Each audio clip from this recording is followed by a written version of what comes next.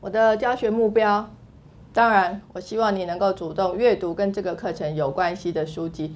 其实比较重要的，不管在任何一个课程，我的教学目标都有一个很重要的目标，就是希望大家多读书。哈，那读什么书呢？当然是跟这个课程主题有关。可是从这个课程主题，你可能衍生出很多的有兴趣的一个呃，这个有兴趣的一个，不管是书，不管是音乐，哈。不管是这个影片，其实这都是我认为是你可以去学习的一个一个工具。你就透过这些来学习，从这个主题延伸出来的相关的一个知识。那有很多的很多的，我刚刚讲到的影片，我刚刚讲到的书籍，甚至在网络上，你都可以找到很多已经人家发表的一些想法、一些意见。然后你都可以从这里面的话呢，去截取，然后去内化，去吸去吸，变成你自己内化成你自己的一部分。所以，呃，我强调的是主动的那一个部分，好，所以教科书它只是一个参考，那不是说你这一学期，哎，你只要读这本教科书的话，这个课的话呢，它就足够了，哈。其实重要的是去涉猎相关的，从这个课程里面衍生出来的各式各样的一些啊相关的一些知识，哈。因为从这些知识里面，或许你可以里面去拓展出来你自己未来生涯规划的一部分，你职业规划的一部分，哈。那甚至你兴趣的一部分。那第二个的话呢，当然这个我希望课程里面的同学是有比较多的一个讨论跟参与哈，不是我自己在这边唱独角戏而已。就我讲的内容呢，其实也不见得，其实你们应该有蛮多意见才对哈。新生的世代事实上有蛮多意见，但是你们习惯在网络上呢做潜水，就是潜水是不是？或者匿名的去发表意见这样子哈。那可是当给你机会去表达的时候呢，你反而不想要去正面表达，尤其是当老师问你，哎，有什么看法？你就最怕我的眼睛我的眼光跟你的眼光呢四目相对的那个时候，对不对？好，你就很快的把脸低下来。这其实不需要这样子，其实没有什么答案是正确的。好，每个有对每一个事情都有不同的一个看法。那我们一直在讲独立思考，独立思考，那怎么样叫独立思考呢？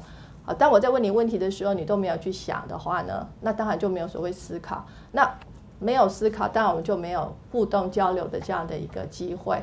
其实你在跟我在跟我对谈的一个过程里面，其他同学也引发其他同学的一个思考。其实我们会激发更多更多的不同的这个内容出来。哈，这是我对呃。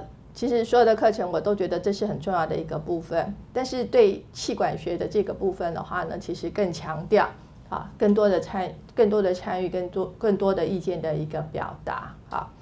然后呃，很多人都觉得我们台大的学生太个人主义了哈，所以台大一直在强调说我们要团队合作。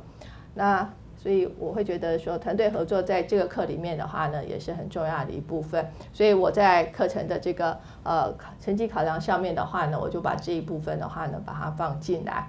所以从团体里面的话呢，每个人在团体里面你扮演的一个角色，哈，你是要扮演一个 leader，你是扮演一个去追随者的话呢，或者在下一次的话呢，角色互换，那如何去扮演不同的一个一个角色，哈，这其实都可以学习的。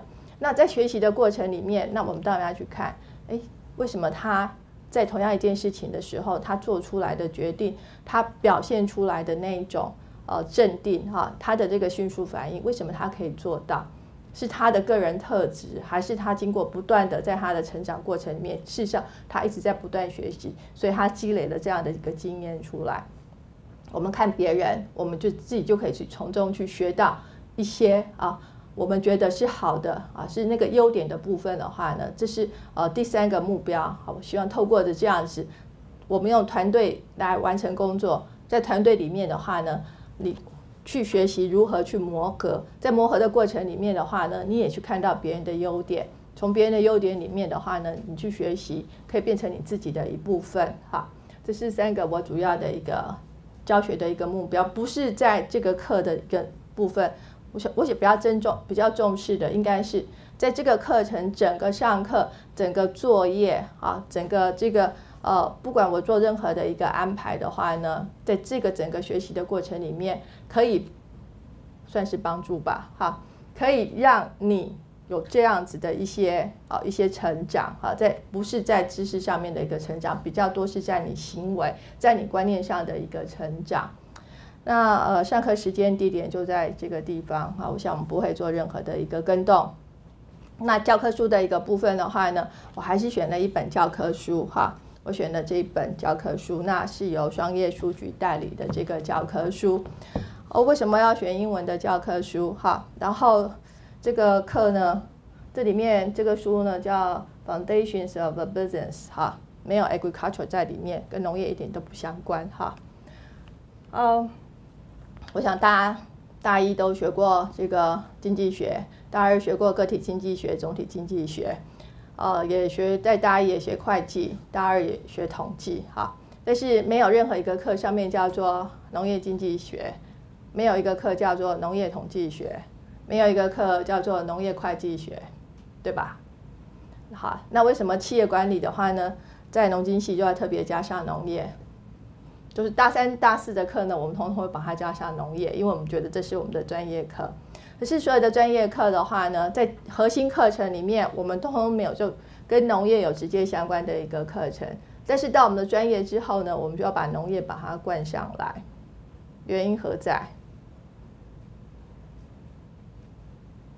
意思说，你学了经济学原理，你学了统计，你学了会计，你在农经的领，在农业经济的领域里面，你也是可以运用的。但是你学的气管呢，在农业里面就不能应用吗？应该是一样的道理，对不对？好，但是我们没有一开始就在大一、大二的时候有安排这样的所谓企业管理的课程。哈，在管院的话呢，他们会分两个学期，一个叫一一个学期叫做商业概论，一个学期的话呢叫管理学。用这两个学用这两门课的话呢当做基础，然后再把它扩散到啊工业领域、商业领域去这样子。但他们不会涉及到农业的一个部分，哈。在运用上面的话呢，大概农经系我们才会把这些观念运用在农业上面。所以农企业管理，当然我们还是必须用什么一般性的企业管理的一个概论，帮当做一个基础。然后我们在课程里面的话，我们当然要举很多跟农业相关的一些啊相关的一些这个案例的话呢来做讨论啊。那我刚刚讲管院他们需要修企业管理，他们需要商业管理哈。可是农经系不太一样的，我们的必修课有什么课？跟人家不一样的，你可以讲出来说，我一讲这个课，其他人就会知道我跟农业有关系，有没有？我们一个农业概论，对不对？农业经济概论，这是大一时候的课。然后你大二的时候有什么必修课？大三同学都不在吗？徐浩庭呢？我只记我只记得他的名字哈。好，所以你大二修的什么跟农业有关系的必修课？畜牧学跟作物学，对不对？好，那这两这两门课你在学什么？你有学怎么去种菜、种水稻？学怎么养猪、养牛有吗？养鸡有没有？有吗？不要笑着看我嘛，有没有？还是全部忘光了？还有一个农业体验课，对不对？有吧？有到农场里面去，到农场里面去做实习，啊，或者到我们的食品加工厂去，有吗？都不记得了。好，至少在大一的暑假，你有参加我们的服务队，有到我们的云云。的某国小去做呃做服务做客服，然后顺便去看了一些农家，这有吧？这应该有吧？啊，所以我们跟农业有比较相关的这个部分，好，刚刚我讲到我们去看了一些农场，好，我们去看拜访一些农家，我们去修了一些农业生产啊畜牧生产的这样子一些课程，因为这些课程的话呢。它跟工业生产，它跟商业的经营其实是不一样的，它其实有更多的专业知识在里面。所以我们在大二的时候，我们也学了这项这方面跟农业生产技术相关的一些课程。那我们学的这些，当然没有说你一定要会养猪，你一定要会种菜，然后你才可以做农企业管理啊。因为农企业管理的一个面向的话呢，其实还蛮多元的哈。重要的是怎么样把这个企业理论的话呢，把它运用到这个呃农业相关的一个部门里面，相关的产业里面哈。所以在课本的一个选择上面呢，哈，我还是选的这个是基本的、基本的这个企业管理的一个课程，呃，这样的一个教科书哈。那为什么要选英文？因为你们有英文的毕业门槛，对不对？好，是全民英检要考七百多吧？七八五是不是？或者雅思要考，哎不是，IBT 要考七十九分至少。好，所以为了应付这个英文门槛的话呢，当然读英文教科书的话，对大家的阅读应该也是有帮助的。哈，好，这是我选这个教科书的一个目的。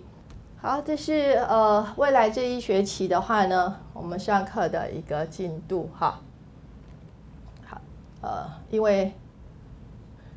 上个礼拜已经中秋节放掉了哈，所以我们今天就不是很简单的课程介绍，我们就真的要进到第一章的这个呃主题里面去哈，介绍商业环境，介绍跟这个商业环境相关的总体的一个经济，好一些经济的一个概念。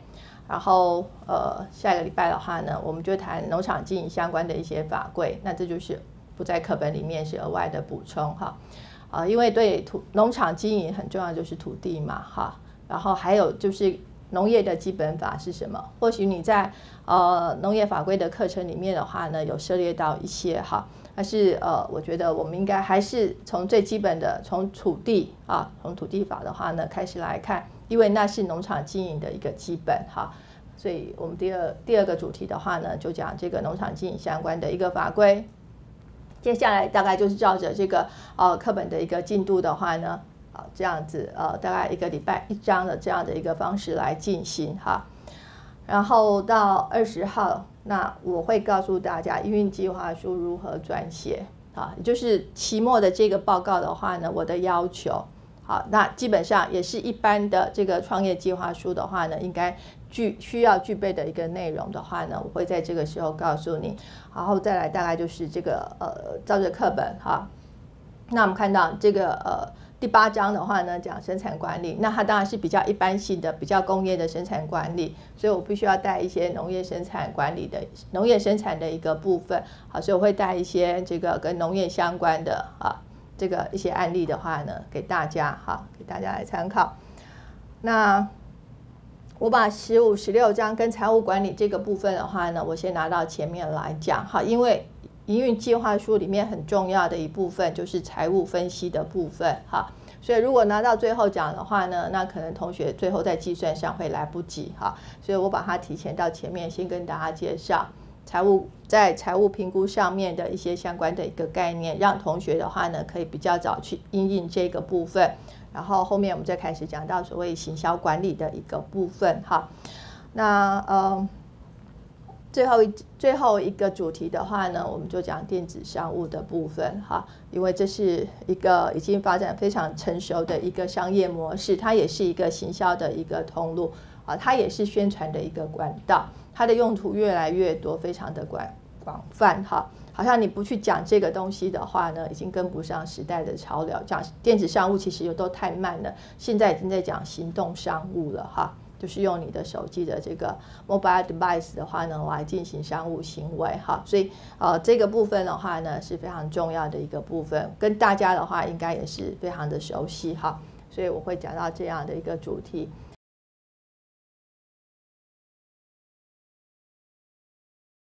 好，那我们先讲一讲农业的重要性。好，我们先讲一讲农业的重要性，嗯。在在这个之前，在这个之前，我我们再我再插回来讲一下哈，因为过去很多同学都讲企业管理好像没什么学问，好，觉得老师就常反映说老师你教的太浅了哈，那我不知道要怎么样才叫太深哈，是不是你那个作业你们全部成绩都在这个呃 B minus 以下的话呢，这个才叫做有水准的课程哈，太多 A 的话呢，是不是就显示这个课程没什么水准哈？嗯，所有的经济学，好，我们农经系农业是很重要一部分，经济的话呢，又是另外一个主要的一个挂在系名里面很重要一部分。好，我们也学了蛮多的经济学，从大一、大二我们都在学经济学。哈，那经济学教你什么？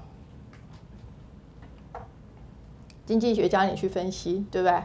好，从各经的话呢，你去分析你个人的消费行为；从各自产业的一个角度的话，分析你产业怎么样去获利。啊，总体经济的话呢，去讲一个经济，讲一个经济经济体一个国家如果如何有效率的去分配资源。啊，所以都是在讲所谓分配交换这样的一些问题。但是你学了经济学，你学会分析之后，谁来帮你做决定？要不要去做？你花了很多时间去计算，说啊，我应该生产这么多的量，我会把我的资源，我应该，我应该吃三个苹果，我应该吃两个香蕉，这是我效用最大的。好，所以你自己分析完了，你会照着这样子去去做这样的一个选择，对。但是问题是，你要不要选？还有那样的一个关键点，就是你会不会去执行？你会不会执行它？啊，所以经济学告诉你很多，就是都在分析，都在如果这样子就那样子，这样子就是那样子。可是告诉你如何去执行呢？我要吃三个苹果，两根香蕉，那我去哪里买苹果？去哪里买香蕉？这不是最重要的问题吗？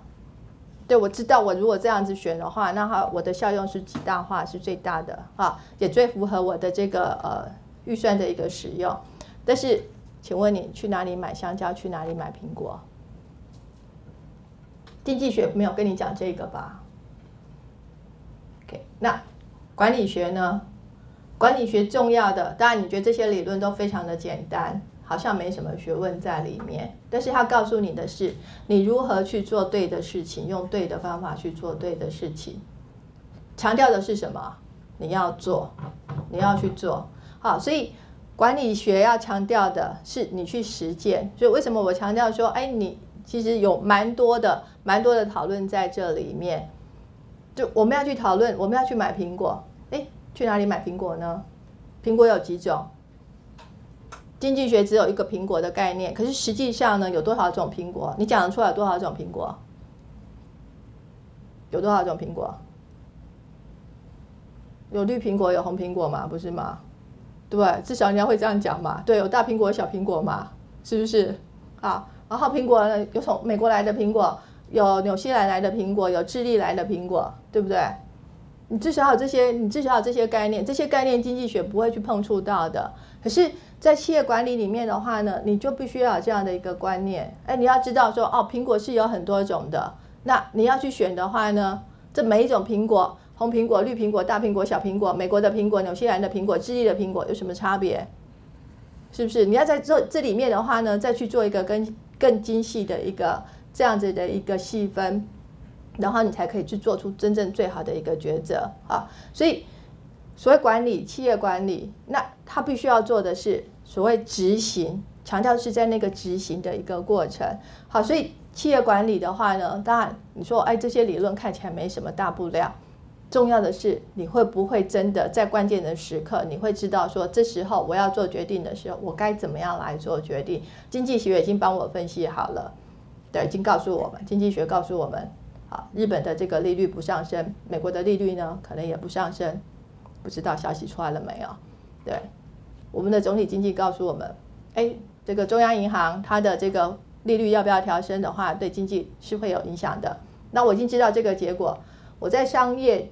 决策上面，我该如何来选择呢？我可以扩大投资呢，还是我应该缩减我的投资？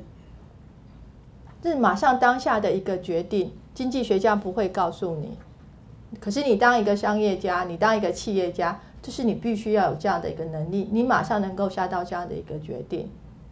所以一样，你在农场里面，这次台风过后，所有的香蕉倒的倒，是不是没有收成掉的掉？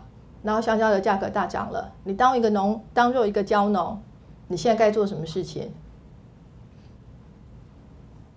赶快去把田里面清一清，然后再去买新的稻苗，那个蕉苗来种呢？还是我就不要了，改去种别的，是不是？还是你这时候对一个企业家来讲，你这时候想的跟经济学家的想法是不一样的啊。我们的政府官员说，这时候该这时候提出来的，我们要做什么？灾损太严重了，所以赶快立法，成立农业保险法。啊，这是政府官员说的。那当然，他的背后肯定有经济，因为那个副主委是农经系毕业的，是各位的学长啊，所以他马上提出这个想法出来。那这是站在一个学者、一个官员的角度来思考。如果你是农民的话呢？你如何想这件事情？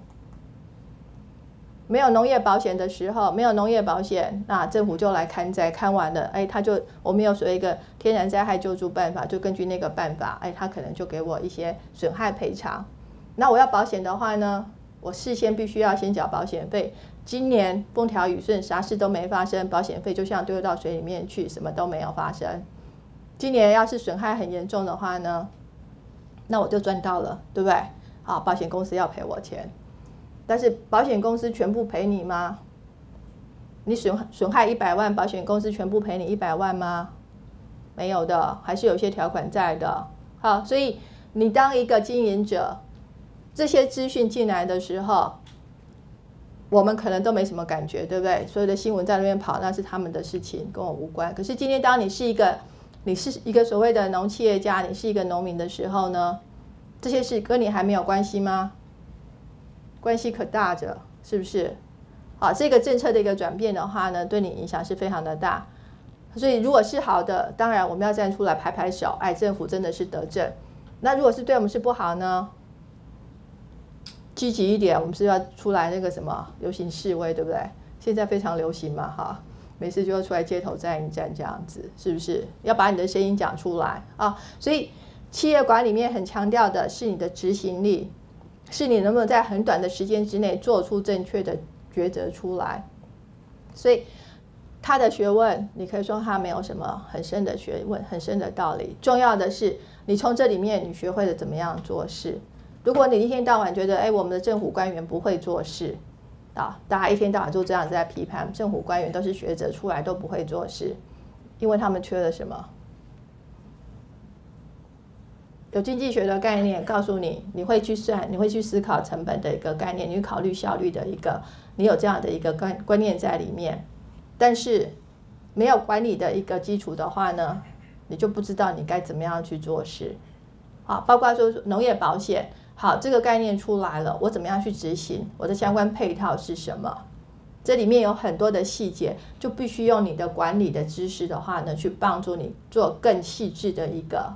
更细致的一个思思考，好，所以包括这里面我在讲说，哎，我们课程里面其实要蛮多的一个讨论，我们有很多的假设，我们得做很多的。如果这样子的时候，那你要怎么做？哦，我不是叫你说你只要去分析，如果这样子的时候会怎么样子，而是如果这样子事情发生的时候，我们要怎么去做？我们要如何去应应？啊，这是管理真正的精神所在啊。那管理它可以放在。你可以说，反正我以后我也不当什么企业家，对不对？我就是当一个公务人员，我只要上班就好。OK，好，你就是当一个公务人员，你的主管交代你下来的事情，你如何把它做到一个你主管会觉得满意呢？今天如果主管告诉你说，我明天有个我们呃有一个美国的客户要来台湾参观啊，他要来这个呃买台湾的农产品，好，美国的商人要买台湾的。买台湾的这个番石榴，要来买番石榴，好，那让你去安排一下，他们要来台湾来个三天，你安排一下行程，你如何安排？对，这不是大老板做的事情，这是一个小员工做的事情，你如何安排呢？下一次主管再问你，对啊，我交代你，哎，他可能这个呃下礼拜。九月二十九号他要来，今天告诉你好。九月二十八号他一定会来问你，他们明天要来的行程你安排好了吗？所以今天九月二十九号告诉你，我会在九月二十八号，我一定会再跟你确认一次。那二十九、二十八号的时候，你如何来报告这个事情？你安排的怎么样子？你要怎么回答？对，我在问你问题了。你要怎么回答？你从什么地方开始想？没有人告诉你说这样子如何安排，对不对？可是你你的第一个反应，以你们现在年轻人的反应，第一个一定会去做什么？Google 一下，对不对？好，Google 一下安排如何安排访问行程是吗？好，Google 大神真的很神啊！你为什么问题他真的都会回答？可是如果这个问题找不到的话呢？你还有谁可以问？你当然不会笨到说去问你的主管说，你可不可以告诉我，我我该怎么做，我的第一步怎么做，对不对？但是这些事情，这些事情，如果为什么说你大学的时候你要去打工，你要去实习，你要去参加社团，你最好认识一些学长姐，因为你可以从中学到很多的经验，是不是？好，如果你在大学的时候你办过一些活动，你大概知道说办活动的一个过程大概是什么。好，那我们再回来这个安排去参访，要来看台湾的这个巴勒的话，你该从何做起？你至少要先知道对方有哪些人要来吧，什么样的一个层级，对。然后他们要搭什么飞机过来？什么时候会到桃园机场？你总该要派人到桃园机场去去接机吧。然后他们要住在什么地方？然后要去看哪一些巴乐园？你是不是要先联络好哪一些台湾的巴乐园是值得参考的？当然，他要透过我们来采购的话，我们主要的供应商在什么地方？我是不是要先跟这些供应商先去跟他联系好？什么时候我会带他们来看这些看这些这个巴乐园？好，所以。这些是不是都是你必须要去洽去洽谈好的？然后过程里面呢，他们在台湾参访的这三天呢，谁应该全程陪着？还是你就让他们自己开着计程车，坐着计程车，就我帮你都设定好了，Uber 帮你设好了，你就到每个站自己坐计程车去吗？不是吧？然后包括他们吃饭，是不是你都帮他们打点好？好，当然如果他们。因为他们是客户，我们需要做到这样子。在我们学术上的话，有时候我们大家可以不用关系，因为他们很独立啊。我他们要去参访，我大家帮他安排好，然后这个我不用陪同，他们自己去也都 OK。可是这是客户啊，所以我当然要给他们高规格的一个接待，我需要有人去陪伴他。所以，当你九月二十八号你的主管来问你，现在安排的怎么样呢？对，你要告诉他。有哪些人来？什么样的层级？什么样的名字？几点钟的飞机到桃园机场？已经派了谁去接机？晚上下榻在什么地方？第一餐晚餐在什么地方？欢迎宴在什么地方吃？吃了第二天的会到公司来拜访董事长，你要出来接待，要做公司的简报，已经帮你准备好了。然后准备什么样的纪念品？要送什么样的纪念品？接下来我们什么时候到什么地方去？这些你不是应该通通都讲好吗？所以你要报告的是这一系列，你不是不告，只是跟你，如果你只是告诉这个董事长说。报告董事长啊，他们什么时候飞机到？好，没有了，你大概就干不下去了。所以这是所谓的做事，这样叫所谓的做事啊。所以你说我只是一个小职员，我又不是大企业家，我不需要懂得做事。那你如果是只是做前面那一段哦，我只帮董事长确认一下啊，他们是谁谁谁啊，他们坐几点的飞机到？好，这样就结束的话，一辈子你永远不要想要升想要升官，你也没有加薪的机会。因为你的做事能力明显你就是差了非常的多啊，所以不要觉得管理没什么学问，确实没什么学问。重要的是呢，你会不会把你学到这些管理的知识的话，你真的运用在做事上面？经济学没有告诉你怎样做事，管理学告诉你如何去做事，怎么样子开始去做事，这是在管理学里面要传递给大家的，好吗？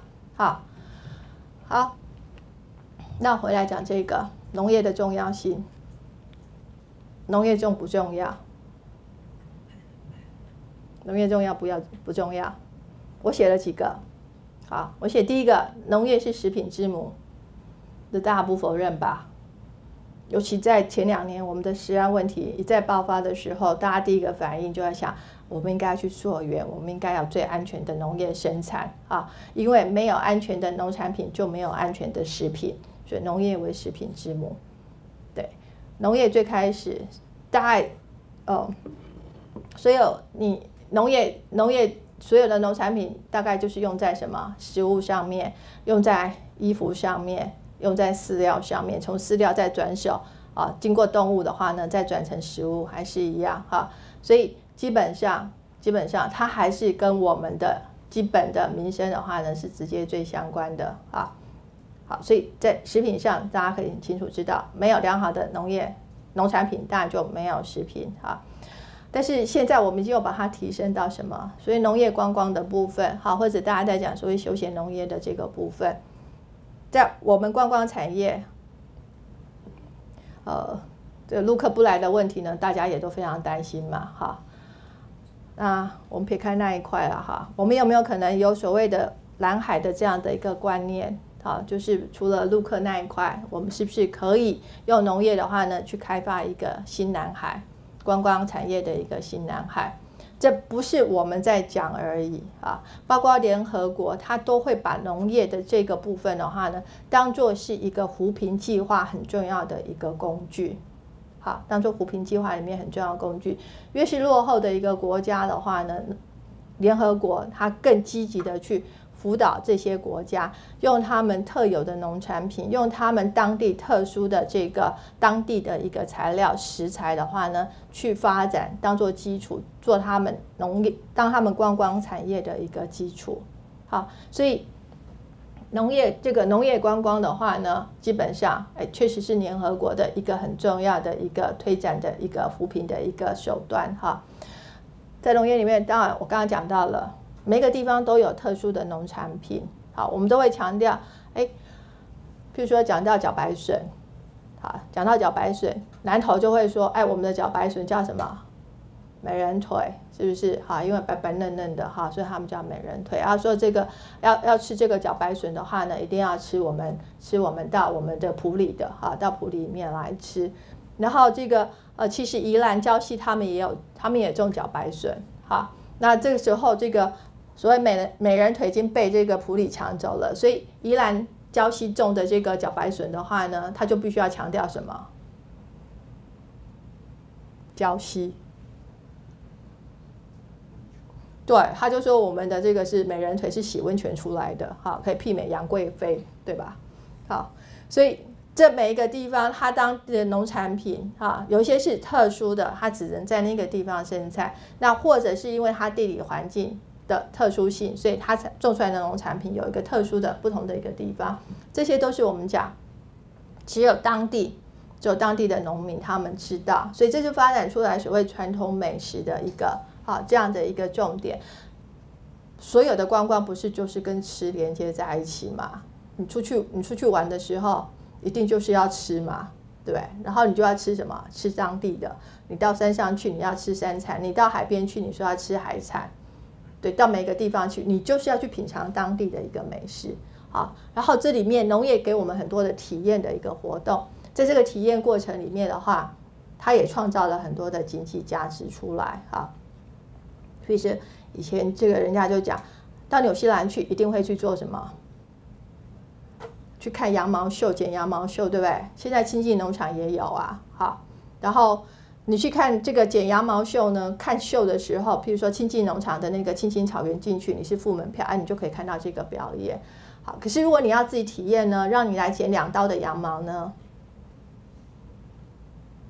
体验不是不用钱的，因为我要教你怎么剪，对不对？你如果剪坏的话呢，这张羊皮就坏掉了哈，所以让你来体验的话呢，还要收钱的。就像这个每年四五月的时候，我们都会到阳明山、到竹子湖去采海芋，是不是？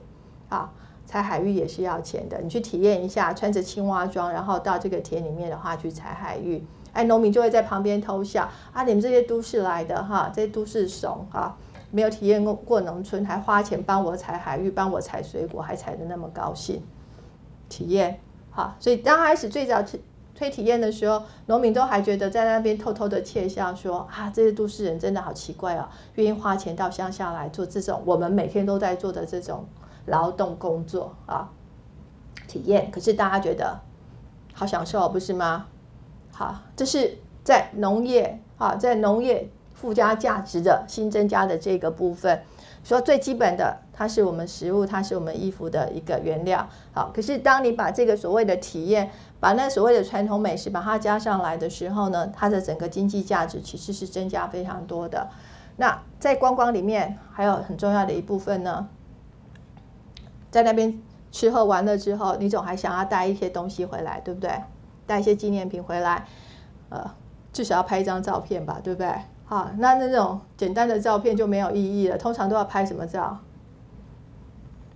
你就要努力的去想拍什么样的照片，对不对？在铁轨上躺在一排拍照片也挺过瘾的，是不是？啊，或者你在那边在那边做摩奇，你在那边做在那边割稻，在那边插秧，是不是？你都觉得这种照片贴上你的 Facebook 去的话，好酷哦，好炫哦，是不是？好，那照片那就算了啊，人家只是看到照片会觉得说这还不够，这种感觉还不够深，还要什么？你得把你做的麻吉带回来，对不对？大家吃一口，这个麻吉是我做的，不管好吃不好吃，你都得把它吞下去，是不是？好，所以具体的记忆是什么？除了照片以外，有形的东西，这就我们讲的所谓的伴手礼的一个概念。那这些呢，都是在农业观光里面我们可以去创造出来的一部分。好，这是我们现在谈更多的，谈更多的，除了。安全的、安全的农产品之外，我们谈更多的是农业观光的一部分啊。接下来呢，跟我们现在流行的所谓的文创产业加在一起。好，你要做文创，那文创在哪里？农业没有文化吗？农业有没有文化？我们写在这里了哈，农为邦本，都要拍一下哈，农为邦本，经纶即事。每个国家大概都是什么？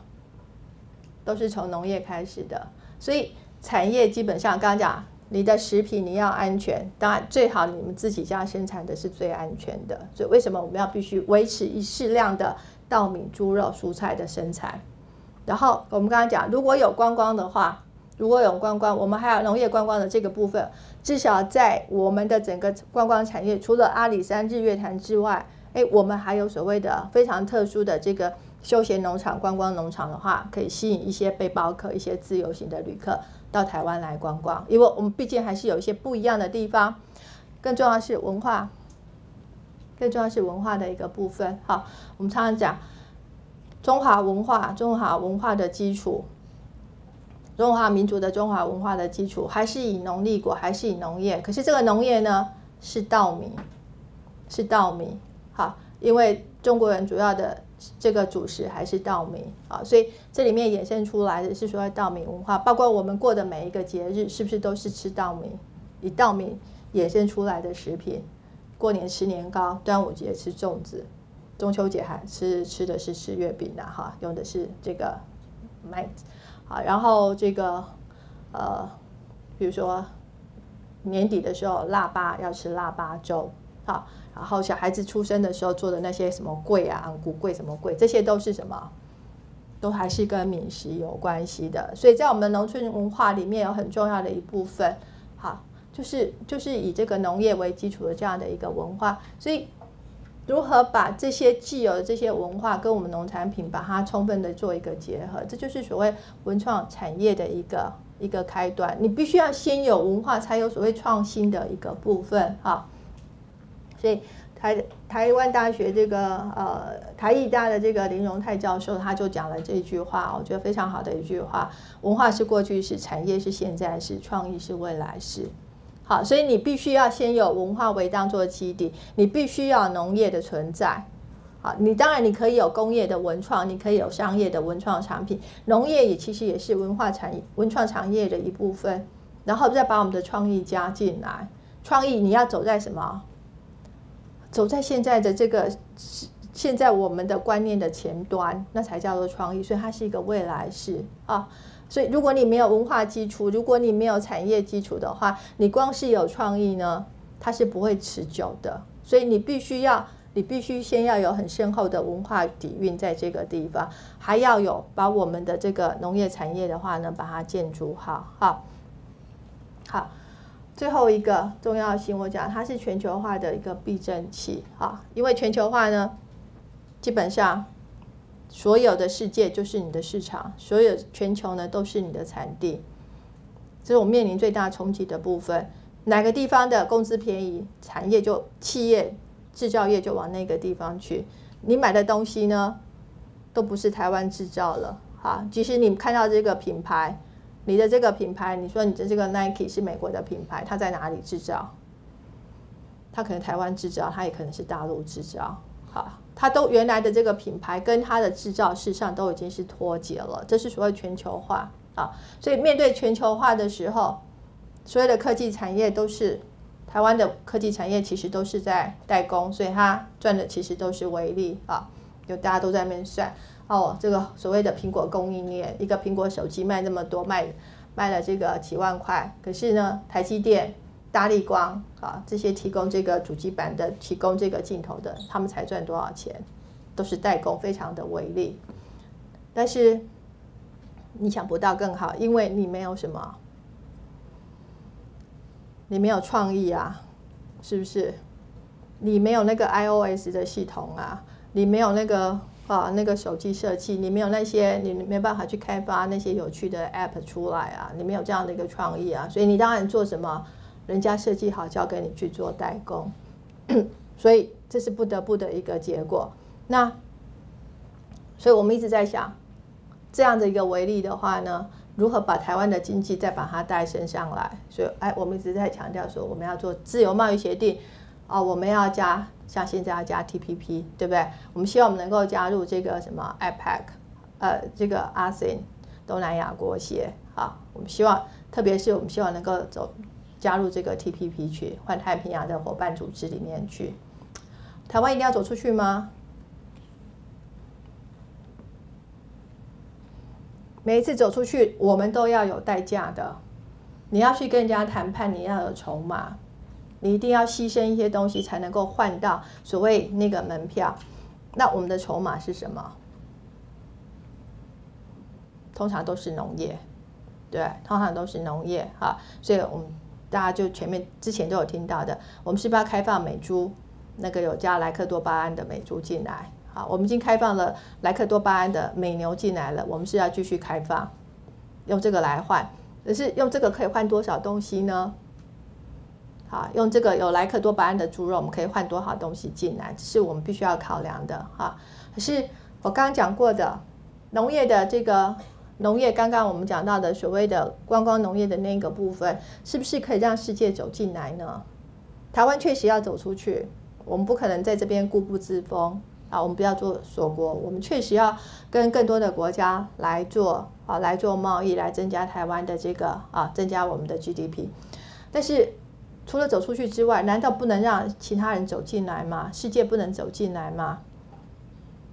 特别是在观光、观光休闲的那一块，好，用我们的农业的多功能性的话呢，我们可不能可能吸引更多的人进到这个进到台湾？台湾的特殊性在哪里？就讲一讲台湾的文化是什么？好，我们不要去讲，我们不要去讲五千年的文化，至少我们讲四百年吧。好，至少我们讲四百年，从开始有人在更早之前我们不知道，但是可以，呃，可以有记录的，至少有人到这边来开垦的这样的一个记录，大概有四百年的时间。这四百年有有哪一些文化在这边停留过？从最开始的西班牙人、葡萄牙人、荷兰人，对不对？到日本人，就是这是一个非常非常多元的，还有我们包括我们最开始的原住民，不是吗？好，他们可能代表的是所谓南岛文化的那个部分，好，对，里面还有很多还可以再去探究的一个部分，这些不都是台湾的文化基础吗？这是台湾，其实就看台湾的这个农业耕耘的一个技术的话，这里面有很多不同的啊，譬如说我们讲迦南大郡，其实它是日本人盖的，这里面就反映了很多的日本的这个文化在里面啊，那。我们不用去反，不用去反驳我们的过去。这些过去，事实上就我们刚刚讲的，它是过去式，它已经发生了。既然已经发生，我们当然承认它。但是在那样的基础之下，我们到底现在建构的产业是什么样子？如何在这个既有的产业上面，在现有这个产业上面再去发扬光大？这才是我们应该要去思考的一个问题啊。所以台湾本身就已经有很丰富的文化，然后我们的农业呢？在这个目前在台湾现在整个产产业架构上，哈，我们很自豪的那个所谓的科技产业，现在是代工，是代工的这样的一个为例。那它当然牵涉到，它也用了我们很多资源啊，很多人批评农业种水稻种用了太多水。哎，科技产业就不用水不用电吗？它也用很多啊，它也污染啊，哈。但是大家都避而不谈哈。好，除了那一块之外，以我们农学院的同学，以我们农经系的同学来讲，我们当然要自立自强，我们要讲我们农业的重要性。在这里面，帮大家。做了四项的一个整理，这些都是我们自己要自先看重我们自己的一个部分。所以农企业管理，我们希望不同的角度来看农业，我们需要把农业变作一个产业，它变成是将来的什么真正有一个价值的一个能够开放更创造更多价值的文化产业的里面的一部分啊，就是哦。前面用这两页 PowerPoint 的话呢，跟大家来分享农业的重要性，也希望大家能够先肯定农经系的重要性，肯定我们农学院的一个重要性，肯定农为邦本、经纶济世它的一个重要性。好，关于农业的一个部分的话呢，我做了这个农业供应链的个这样的一个图哈。那这个图的话呢，大家可以看到，在农业生产的话，在生产要素的这个部分哈。呃，一般我们讲的土地啊、劳动啊、资本啊、管理技术啊，哈，然后田间生产强调的农林渔牧，农业是一个大范围的一个名词哈。那真正的农业细分的话呢，当然就分为农林渔牧哈。农在田里面，大田在田里面的作物哈，包括这个谷物啊、蔬菜、水果、花卉啊。香料植物这些好，通通是属于农农作物的部分。那林产品的话呢，当然就是树林啊。然后鱼产品、养殖，包括里面包括这个水产啊，就养殖的部分呢，还有海洋里面哈，河流里面的这个都是算是在这个鱼产品里面。但是真的是我们要强调的是人工养殖的部分嘛哈，是真的有农业投入的一个部分，然后再来畜产品。那我都把它归类归类掉田中生产哈，因为它都需要是有土地的哈，都是需要有土地的一个部分哈。那所以远洋的一个部分的话呢，基本上我就不去碰触它，因为它不是我们真的在生产的哈。那这些生产完之后呢，是不是都需要所谓的这个运销的一个部分？好，我们必须要把这个农产品的话呢，即使是像稻米的话，好，是不是还是要至少要脱壳？去糠，好，然后才会变成我们一般吃的这个白米，然后还要再把它，啊，到超市里面去的话呢，我们会把它做成小包装，啊，或者呢是在这个呃米这个卖饭卖米的这个米店的话呢，哈，它可能是用现在比较流行的啊，就是它还是用这个稻谷在收藏，然后消费者要买的时候呢，他在现场帮你这个做这个去壳啊脱糠的这样的一个动作，所以很多的农产品基本上呢，是不是？呃，本来农产品生产出来就是有大小、有差异、颜色的差异、品质的差异啊，这个口味、这个呃甜度的一个差异哈，所以当然分歧是一个很重要的部分，不像说啊所有的工业产品出来它都长一样的哈，你的所有 iPhone 出来它都长那样子哈，可是农产品的话呢不是，然后我们都要包装哈，可能还要做一些加工，譬如我刚刚讲的那个所谓的这个去这个呃去壳啦、脱糠这个。啊，鱼的话呢，可能要去鳞啊，然后要去鳃啊，把它的内脏拿掉。哈，鸡的话呢，你要屠宰，这些都是属于加工的部分。再来的话呢，大家都有运输吧？好，因为我们的生产地跟我们的消费地事实上都有一段距离的哈，不可能在台北市看到有人养鸡吧？有没有在台北市也没有养猪的吧？即使你想养的话，大概你的邻居也不允许你这样子做啊，因为那个空气。啊，造成的这个味道的话，还有它的排泄物的处理，这都是很大的一个问题哈。所以农业生产跟消费地的话呢，事实上都有一段很大的一个距离，所以都有问，都都需要运输哈。然后还有储藏，因为你不是说马当天的这个呃农产品的话呢，当天都会消消费掉哈。像你现在吃的苹果哈，你觉得你现在在市场上吃的苹果大概是什么时候生产的？大苹果什么时候？苹果的产季是什么时候？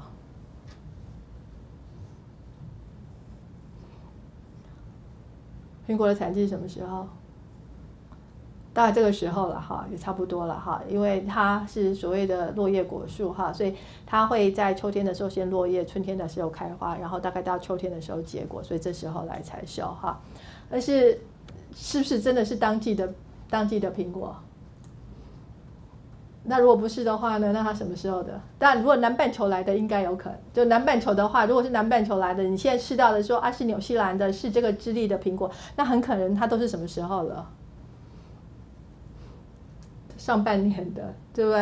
所以它已经有一个很长的、很长的一个储存的一个时间。哈，我记得呃好多年以前，那我就到这个山东哈，到山东的莱阳啊，然后去看他们的苹果的生产基地哈。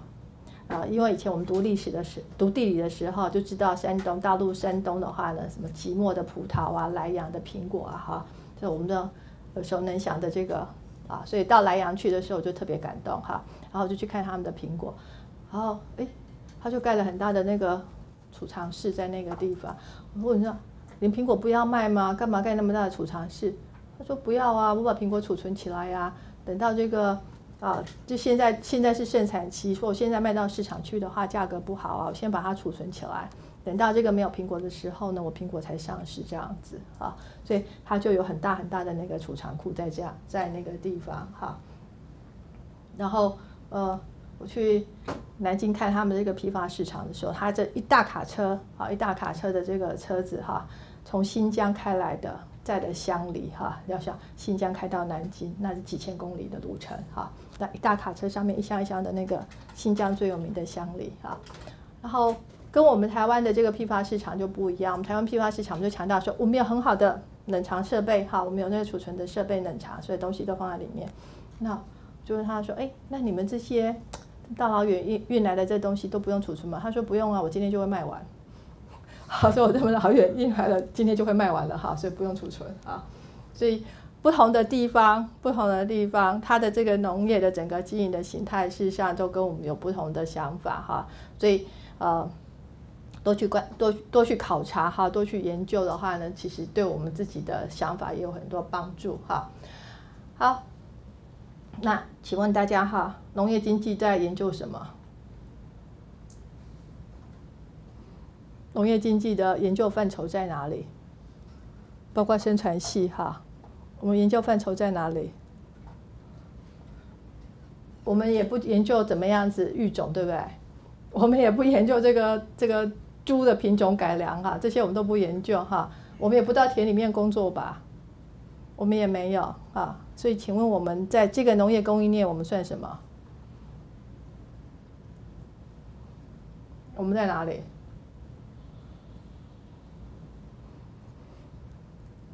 以前有人问我说：“哎，农经系读什么？”我就说：“哎，这个农艺系的话呢，看到田里面通通是满满的水稻，他们就很高兴了。农经系看到的是那个满满的水稻通通变成钱啊，满地的这个黄金的话，农经系就看那个而已哈。所以我们要看的，当然就是我们看的是在哪里。”后面行销嘛，我们强调的是我们要把它卖掉，对，我们要强调把它卖掉。你没有卖掉的话，你光是生产，那它就没有意义。那是在技术层面，所以过去讲的农业可能都是在前段，好，在那个生产强调你的技术怎么好，你的这个品种怎么样的好，哈，怎么样的一直不断有新产品出来，它怎么样抗抗病、抗看这个抗水、看旱、看这些东西。好，可是真正要销售的一个部分的话呢，这是农经系、生产系我们比较重要的一个课题，在这个地方哈。可是后面呢，做成食品、做成餐、做餐、做成餐厅、做这个健康、做美容、做休闲呢？休闲先不要去管它，这些食品呢，这些餐饮、健康食品、美容用品，这些算什么？这些不叫农业，这些叫制造业，对不对？好，就以前我们都说农业是一级产业，因为我们生产原料，然后就去给这个制造业去生产，所以我们叫一级产业。好，然后如果你是一级产业的话，从这个供应链上面来看，大家知道，从经济学的角度上来讲，每一次的加工处理都有附加价值产生，对不对？都有附加价值，所以你从最开始土地，然后你种上农作物，加上你的劳动力，生产出农产品，这时候已经有价值了。水稻已经有价值了，对，水稻把它做成白米的时候呢，因为你有加工处理，你有运输，你有储存，哎，你又再加上一些运输的一个利润在里面，好，可是你卖到餐厅去的时候呢，餐厅说，哎，我有服务，是不是？啊，我有帮你，我帮你煮成饭，我帮你端到这个，啊，端到你的这个桌子前面去，到放在你的前面给你吃，这样子，所以有服务在里面，所以这个附加价值通通跑出来，那。这这里面后半段的话呢，我们说那个叫不不叫农业，是不是？农业就叫一级产业，所以就在至少在运销那个地方就把它切断了，后面都不是。可是刚刚最开始我在讲农业的重要性的部分，我讲到说啊，农业它其实是可以是全球化的一个避震器，它可以是我们文创产业的一部分，它可以是我们观光的一部分，观光的新南海的一部分，那一些都在哪里？都在后面，对不对？都在那一个后面。那如果我们不把它包进来，属于我们农业的范畴里面的话呢？那我们永远讲说农业叫一体产业，我们永永远永远停留在所谓的田间生产那一个部分，停留在所谓运销的那一个部分呢？农经还有什么前途可言？不是吗？整个农业的产业还有什么前途可言？是不是？好，所以我们要讲所谓讲农业的话呢，我们不需要自己去切割，或者在政府的统计里面，他说后面这一段叫做制造业啊，这个叫餐饮服务业，它不叫农业。但是我们自己是可以把它串联在一起的。我们要做，哎，这是我的，这是我的 business，这是我的商业模式，我要从头做到尾，可不可以？当然是可以，当然是可以啊。所以你要做到前端，好吧？后面我不管了。哎，我觉得后面风险比较大，我不管，我只要做到这边，我把水稻卖了，后面的这个粮商怎么去处理他的事情？OK，好，那你就是赚到前面是什么？生产的那个利润。好，那我说我做多一点，我做到运输包装，我做到后面这一块，那我就加上运输的利润进来。那我再多做一点呢？我再多做一点的话，我是不是再把后面的这些所有的相关的服务的利润，我把我说观光的这些利润的话，我通通都都加进来？好，所以今天站在一个个人经营的一个角度上，你要做多少？你要做多少？政府的切割啊，政府说这个地方叫做这个地方叫餐饮服务业，这个叫食品加工业，跟农业没有关系，那是政府说的。可是你从自己一个企业家经营的角度来讲，你在农业经营的范畴有多大？你可以把整个供应链通通都涵盖，是不是？好，所以呃，今天如果再回来讲这个农经的话呢，你不能告诉我说农经只到哪里。你不能讲说农经的研究范围只到哪里？我在研究水稻，我在研究猪，我在研究牛。你要说你在研究什么？我在研究猪肉，我在研究牛肉，对不对？好，所以你在研究葡萄呢，还是你在研究葡萄酒？你是停留在葡萄呢，还是你在做葡萄酒，在做红酒？你要做葡萄酒，对不对？你不能只停留我在做葡萄，你在怎么样做的大颗的葡萄，跟一瓶葡萄酒的价值来讲，这个这一串葡萄，你再再贵再贵，你卖到这一公这一斤卖到一千块，这瓶葡萄酒可以卖多少钱？绝对是可以超乎你想象的那样的一个高价值，哈！所以站在一个。个别的个别的一个企业经营的角度来讲，你要把这个供应链的话呢，你要全部把它涵盖进来。政府不讲这个，那是政府的事情啊。我们刚才讲企业管理，还是在我们的个人的个人的经营角度上面哈。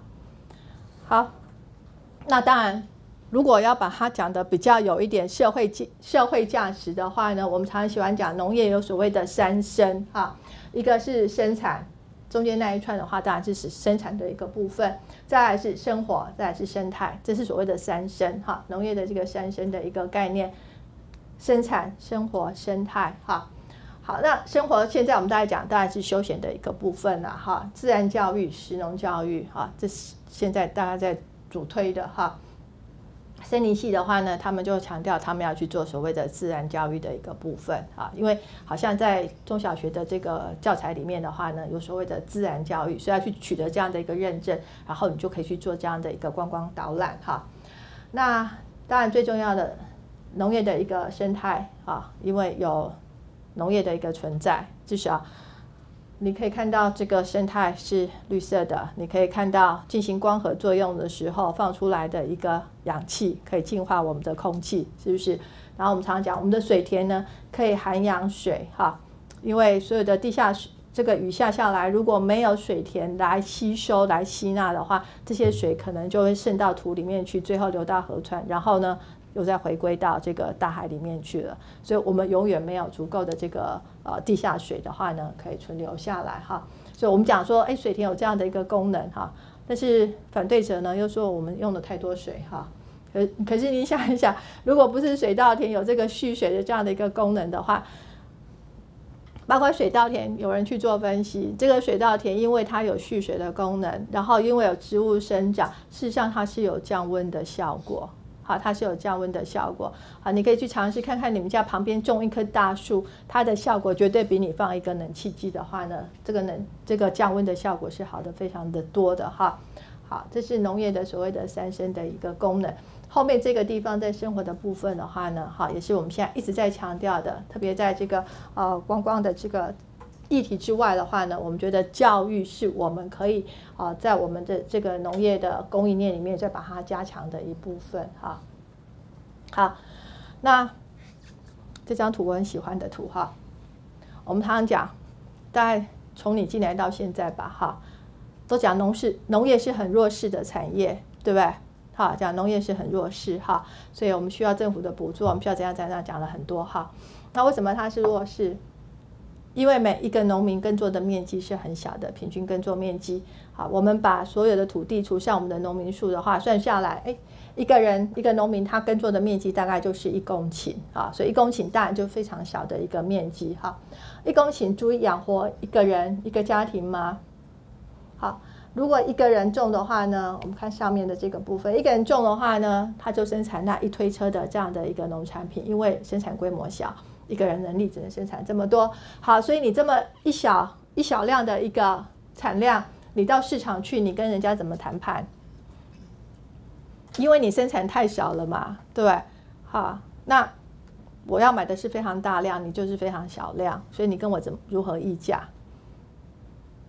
那买买方是非常多的话，那就觉得你东西也没什么特色。然后我可能是要买十个，我要买十个推车，你就拿一个推车。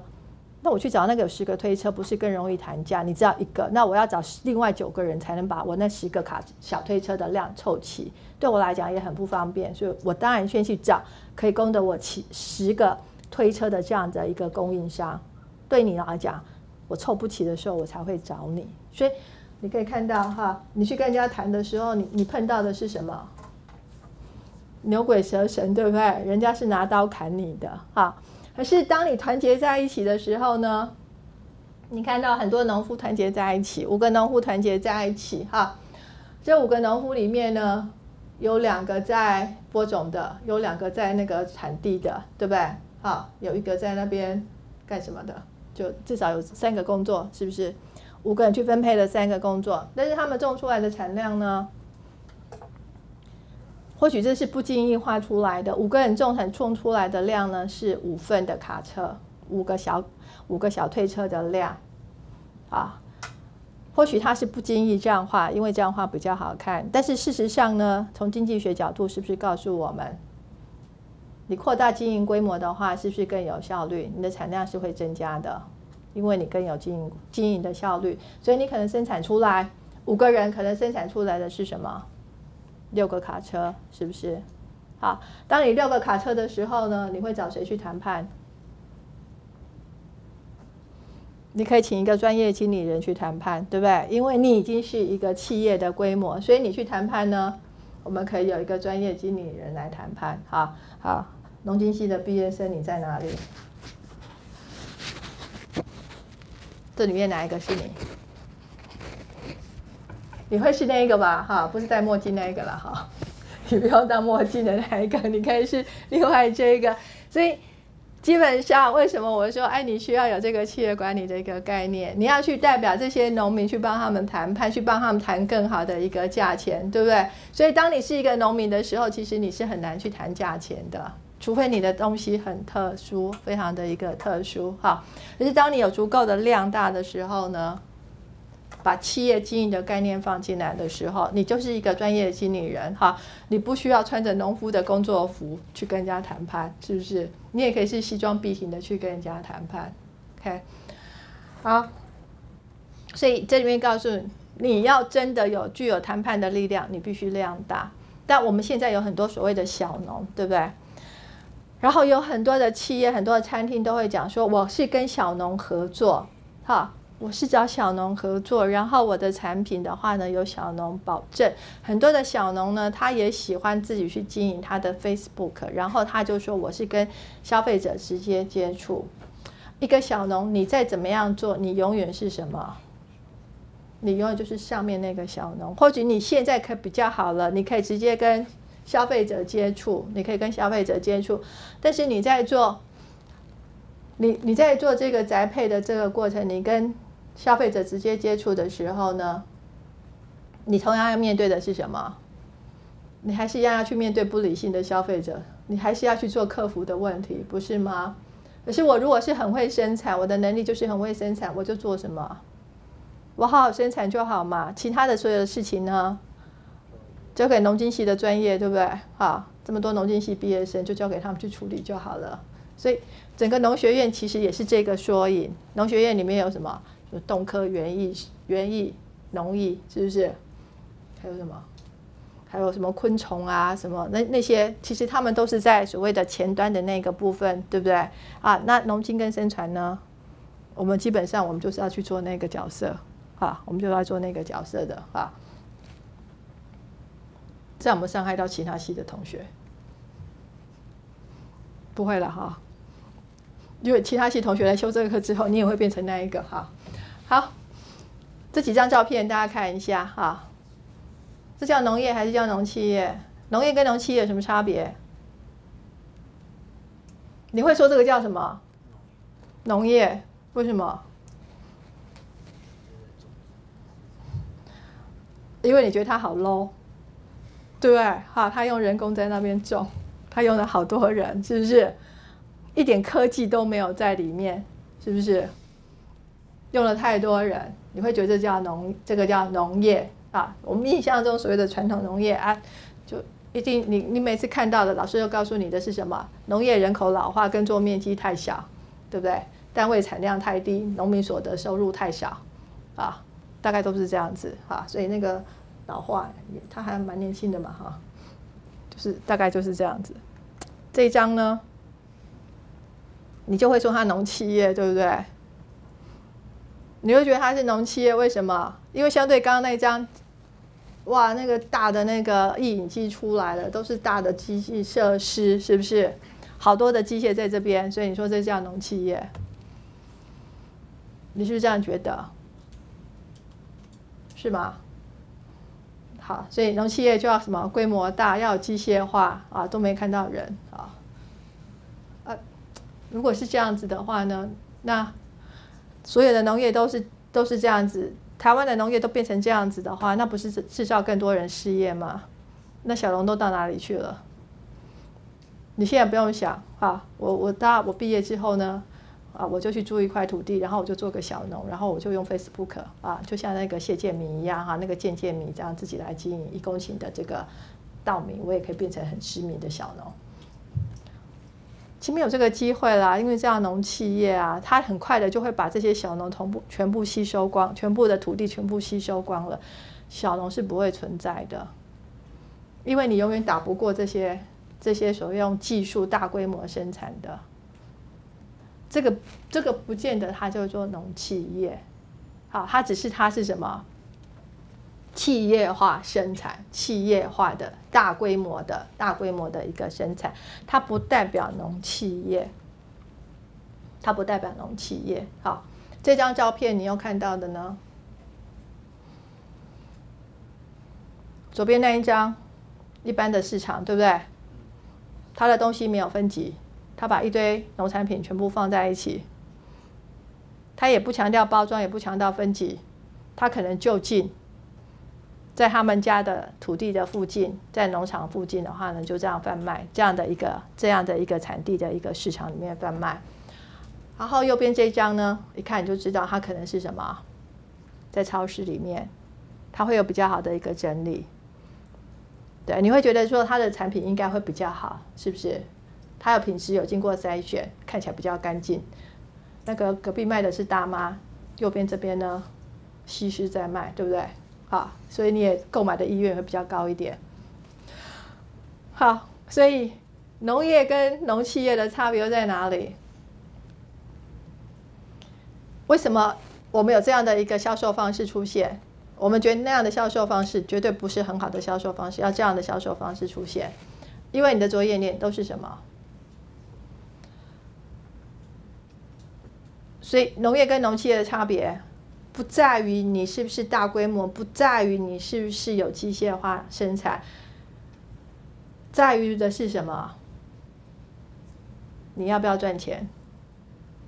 今天你是企业，今天你是企业，所以农企业基本上呢，business 企业对不对？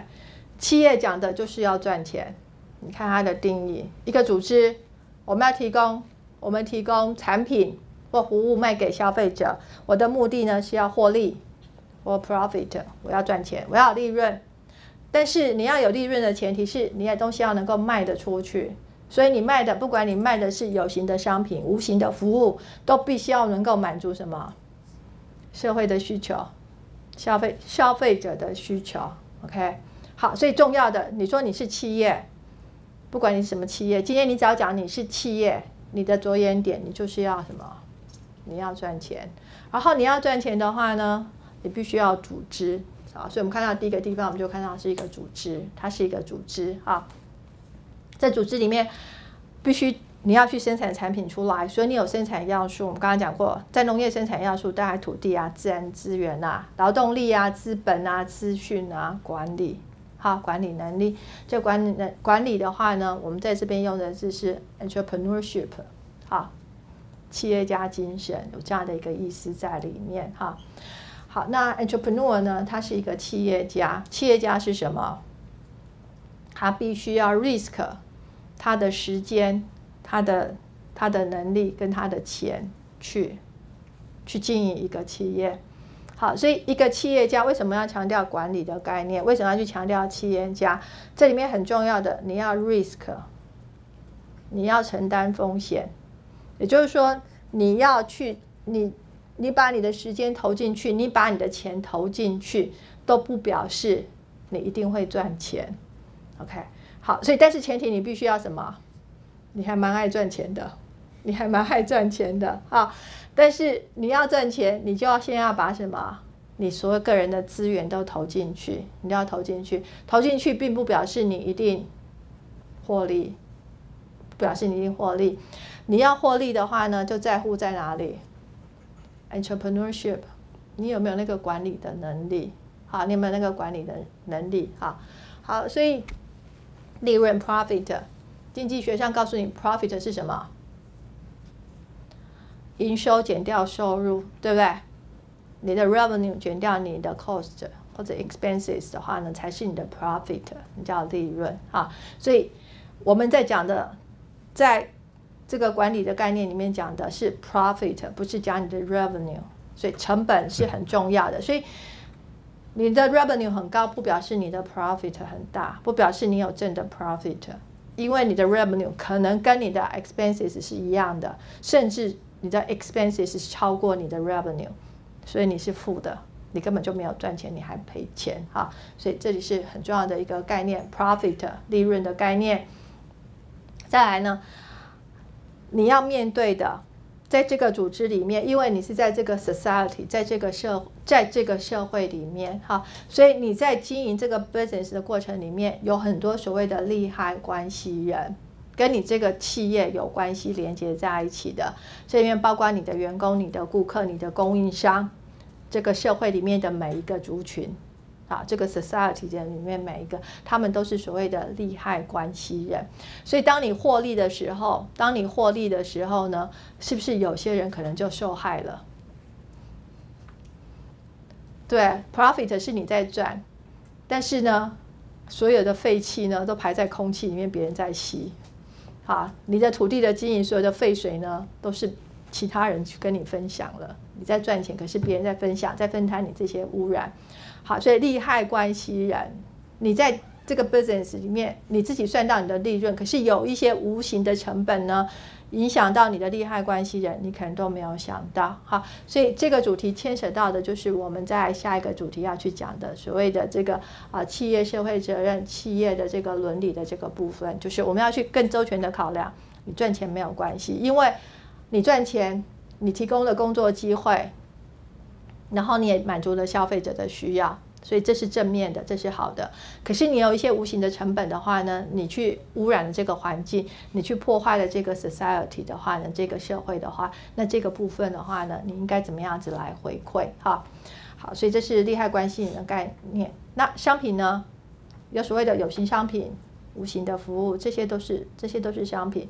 你的商品基本呢，你可以天马行空的做很多的产品出来，可是不要忘记的，你的所有产品呢。要符合消费者的需求，好，那我们的需求，我们在这边是用 need，可是有时候我们会用到 want，need 跟 want 这两个有什么差别？一个是需要，一个叫需求。一个需要，需要是你一定要的，必须的。那 wants 呢？你不需要，但是你很想要，对不对？好，所以农产品呢？饭是你的必要，但是一碗五百块的饭，那叫炫耀，对不对？好，那个叫那个是创造出来的，那不是你要的，所以行销基本上就是在做这样子的一个创造，创造你的欲望。好，好，所以。我对农企业的解读，我对农企业解读不是那样子。刚刚你看到哦，一定要有设施，要大规模生产哈，它背后是一家公司，哈，不见得是那样的一个方式。我强调的一个企业，我强调一个农企业。刚刚我对企业的一个解释，你要什么？你要有获利的概念。你是要你要获得利润的，你的产品是符合消费者的，所以你种的水稻呢，消费者现在喜欢吃月光米，你就应该去生产月光米，对你不要继续再去生产这个再来米啊，你应该去生产消费者需要的。可是，在过去的农业呢，其实我们常常生产的是什么啊？我就会种这个，我就种这个，完全不管消费者的一个需要，我种什么我就硬推给消费者，是这样的一个模式。但是企业经营的角度不是这样子，你必须考量他的需要。那你的利润的考量你需要，然后你去从事农业的话呢？刚刚已经讲过，你是一个企业家，你就必须要知道，你必须承担风险，你必须承担风险，好，所以包括天然灾害这样的一个风险，你对一个农企业经营者，你都必须要有什么，应应的一个对策，好，所以当然我们现在讲农业保险。对经营者来讲，一个真的有企业经营理念的一个农民来讲，这是对的。他必须自己去承担这样的一个风险。好，你不能说啊，我永远是伸手说啊政府会给我补助，不是这样子。好，所以农企业，你说今天我是农企业，我是个人，可不可以是一个农企业？可以啊，只要你今天务农的目的是什么？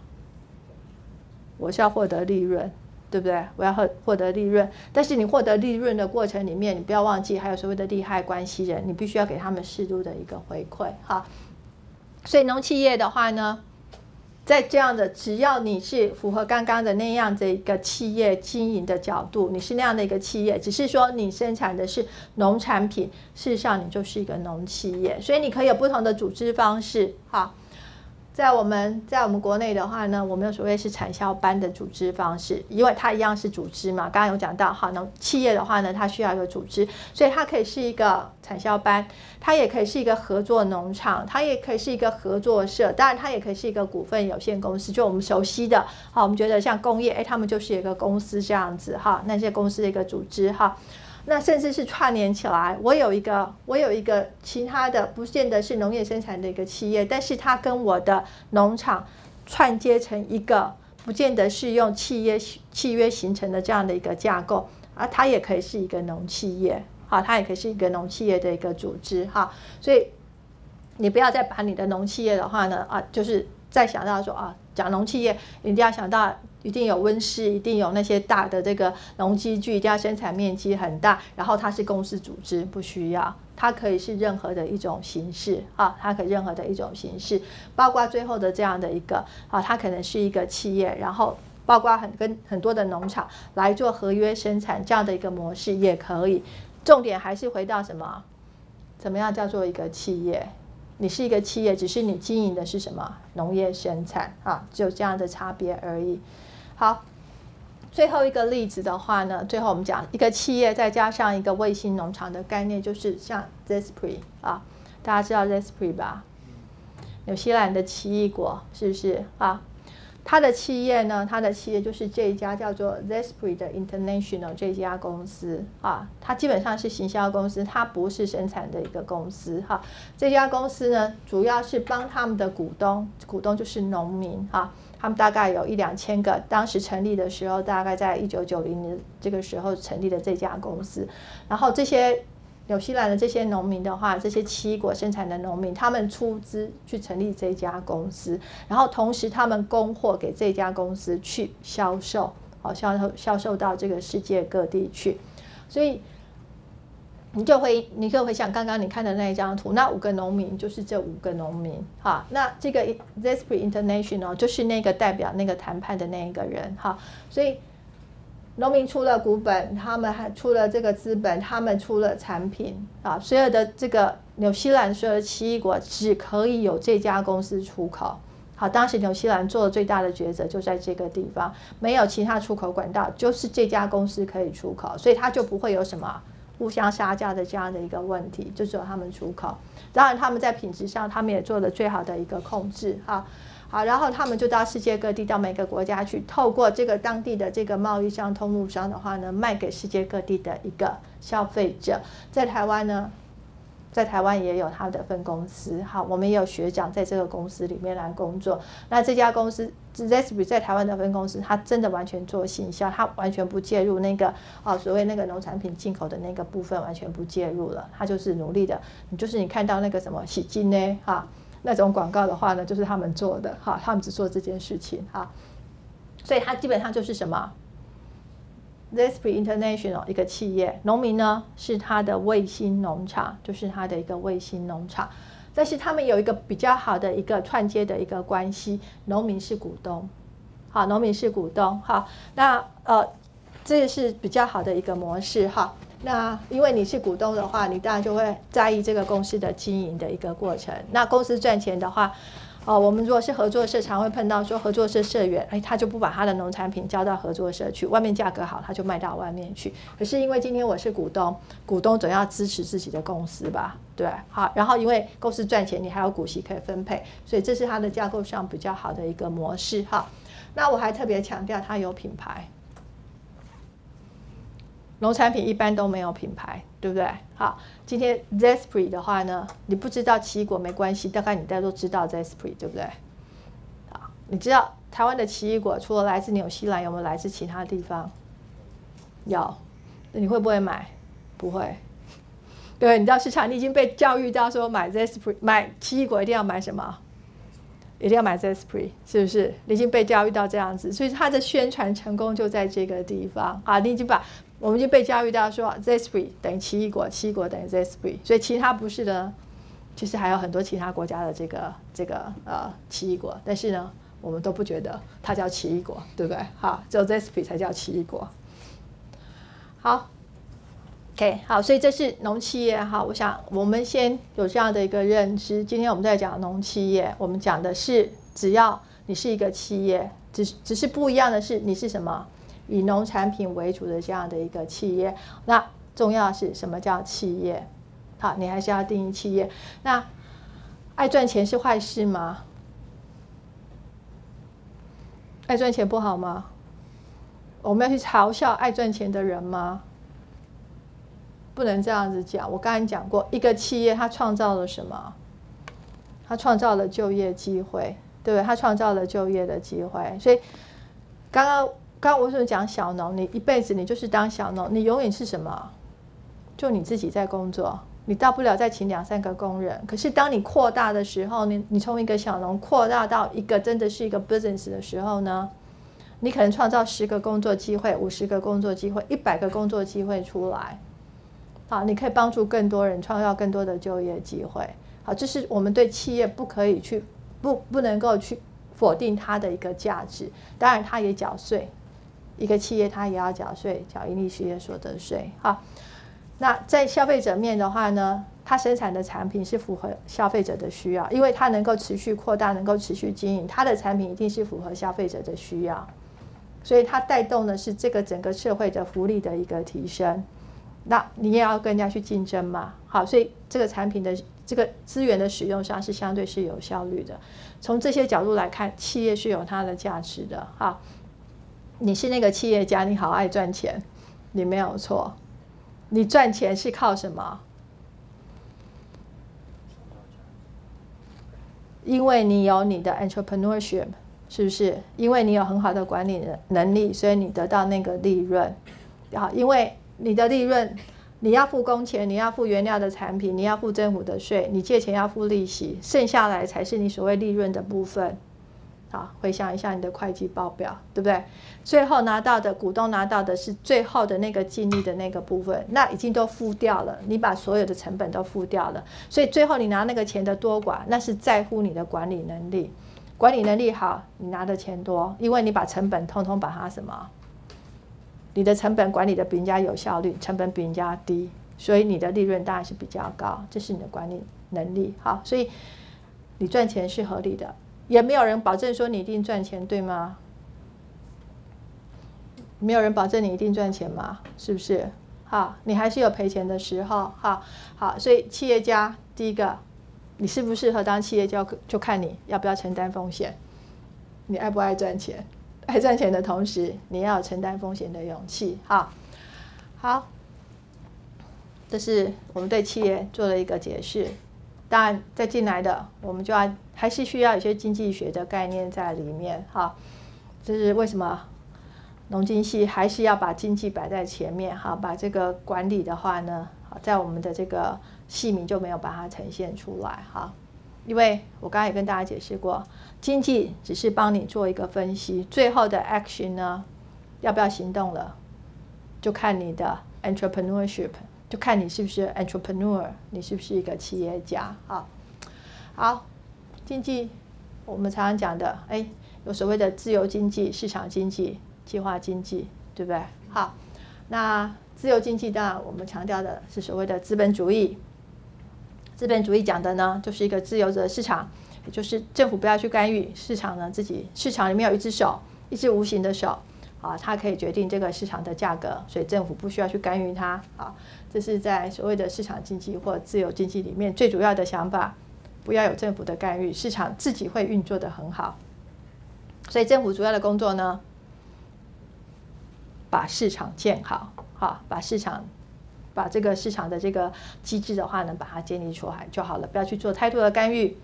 是计划经济相对的这个计划经济呢，政府参与的角色就非常重了哈。政府在里面扮演非常大的一个角色，比如说啊，我们熟悉的共产主义啊，像北韩啊、古巴、呃、越南啊，他们其实都还算是共产主义哈。那中国大陆叫做这个中国式的共产主义，是不是？也不叫共产主义，叫社会主义了哈。所以真正的共产主义的话呢，大概就是剩下古巴跟北韩哈，再加上越南哈。好，那它当然是政府做的很重要的一个资源分配这样的一个角色哈，这是计划经济里面共产主义最主要的角色。那社会主义呢，政府当然还是参与哈，可是它在私人的这个企业上面的话呢，它有很多的私人企业，但是政府最主要干预呢，透过很大的、很高额的税收。把这个税收呢，把大家的这个利润的话呢，做了一个重新分配，好，这应该是社会主义跟共产主义比较不一样的地方，好，所以在社会主义里面，搞不好你的赚的一百块里面有五十块呢，政府会收走，政府再重新做什么，做这个所谓的这个社福的一个部分，哈。去做这个个人可能比较不会去做的，好，比如说像长照的这个部分，像对这个教育的部分，哈，或者是对身心障碍者的这个关照的这个部分的话，一般人觉得那个地方比较没有利润可图的话，那就由政府来做，哈，所以这大概是社会主义比较大的一个差别，哈。那为什么要去强调自自由经济？我们要强调资本主义，政府都不要管，对不对？有能力的人呢，就尽量去赚钱嘛，不是这样子吗？刚刚讲过，你的利润来自哪里？来自你的管理能力。所以管理能力越好，你就赚越多钱。那这个社会上所有的钱不都被给少数几个管理能力很好的人都赚走了吗？不会变成那样子。资本主义就是在鼓励那些有能力的人，大家都说出头，尽量去出头。那政府只要什么？我是课税嘛，是不是？反正我已经有课税了，哎，我只要政府拿到税，然后把这个税的话呢，去做其他的公共建设就好了啊。那鼓励积极鼓励，大家通通是那个香花啊，努力的去发展这样子。但是资资本主义最后会怎么样？所有的财富集中在少数人手上，资本主义之恶，这是它最大的被我们诟病的部分。哈，我们现在已经尝到这样的苦果，不是吗？啊，整个台湾的所有的财富呢，可能在少数的百分之十、百分之二十人这些啊高数的人手上啊，多数人呢都已经中产阶级已经几乎不存在了哈。好，这是市场的这个呃经济体的主要的架构，就是自由经济跟这个呃社会呃这个计划经济这两大部分哈。当然，企业管理必须存在什么自由经济，对不对？好，在自由经济的这样的一个体制之下的话呢，我们才容许个人呢有这样子赚钱的一个机会。哈，那在一个共产主义，在一个呃计划经济的话呢，当然没有私人企业的存在，一切都是公营企业。哈，所以相对的资源的分配呢，也都由政府来控制。好，所以它当然就相对是没有效率的。好，好，那经济学呢，分为两个，分为在两个，要叫什么？分支吗？个体经济学跟总体经济学啊。那我昨天问同学说，哎，个体经济学跟总体经济学什么不一样？Microeconomics，microeconomics，一个 I 一个 A 嘛，哈，字不一样啊。前就有同学问过我，老师，统计学跟会计学怎样？哪里不一样？会计跟统计哪里不一样？字就不一样嘛，哈。讲的内容当然也不一样哈。好，Michael 的 I 呢，代表的是什么？对，这两个字，Michael、Michael 都是从希腊字延伸过来的。好，你 I 可以讲它是 individual，他讲个人，对不对？A 呢，Michael 讲 A，aggregate，是不是讲总和的一个概念？哈，好。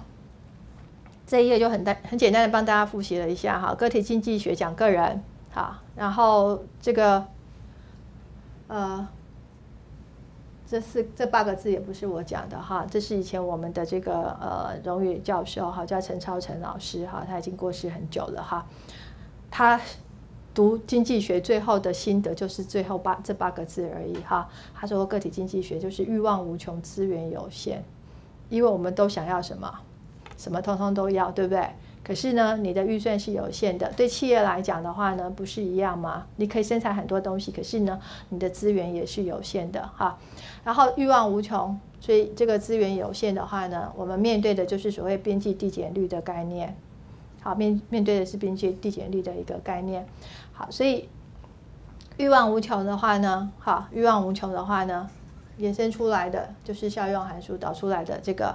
加上这个资源有限，我们导出来需求面的话呢，有一个需求体系曲线哈，这个应该是供给了哈。生产成本呢，从生产成本的话呢，生产成本这个在生产函数这个地方呢，也有一个啊边际生产力递减这样的一个概念哈，所以我们衍生出来一个供给曲线哈。所以用这两条曲线的话呢，这两条曲线的话，在自由市场里面的话呢，都得到一个市场均衡，对不对？好，我们得到一个市场均衡，这两条曲线相交的地方就是所谓市场均衡。那市场均衡的概念是什么？equivalent，没有其他外力影响的时候，这个价格、这个数量是不会改变的。好，这叫 equivalent。但是呢，这个社会是很动态的，所以一直都有外力在影响，所以这个 equivalent 呢，它一直在改变，对不对？好，好，那。只要是供给跟需求的焦点，就叫什么？equivalent，就叫 equivalent。好，所以不是原来的那一点，它永远有一个新的，永远一个新的 equivalent 存在。哈，那但我们习惯化的一个负斜率的需求，一个正斜率的一个供一个供给，然后我们画它的交叉点，市场均衡决定出来所谓均衡的价格，均衡的一个数量啊。但是我们还是要去讨论市场不同结构，就是它的竞争力不同的时候，哈，比如说我们讲到完全竞争市场，啊，这个独占，这个呃独占竞争，寡占跟这个独呃寡占跟独占啊，有几种市场的结构，那这时候决定出来的价格是不太一样的。这是在个体经济学，我们大概主要学的是这些内容。总体经济学呢，我们要从景气循环开始讲起，然后我们讲。啊，我们最主要关心的总产出，那我们用 GDP 来衡量总产出。好，价格的部分呢，我们用物价指数啊，所以我们去看所谓的通货膨胀的一个问题。那跟这个总产出相对应的数字呢，就是失业率，好，就是失业就业的一个问题。然后在长期的话呢，我们关心生产力啊，是不是有提升这几个问题。OK，好，这是需求需求量的一个定义哈。那在成本的话呢，再等帮大家呼吸哈。我们讲成本是不是有两种？一个变动成本，一个固定成本。变动成本呢，随着产量增增减而变动的成本，我们叫做变动成本哈。那不随着产量变动的话呢，我们就叫固定成本。这边我们讲对应的，在农业生产上面的话呢，变动成本，譬如说像种苗、临时工、哈水电费这一些；固定成本的话呢，像地租。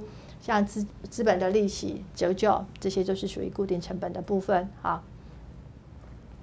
所以，哦，我们一直在讲说，哎，要降低生产成本，降低生产成本，应该降哪个成本？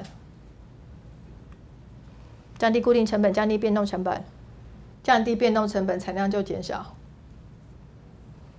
所以呢，要降固定成本吧，好。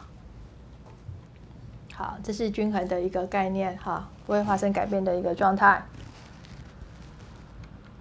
那刚刚这张图的话呢，我们可以知道哈，如果你的供给供给超过需求的话呢，供给超过需求的话呢，你只能什么降价出售，对不对？好，所以我们常常讲，哎，农业有所谓的这个果贱伤农这样的一个问题，为什么？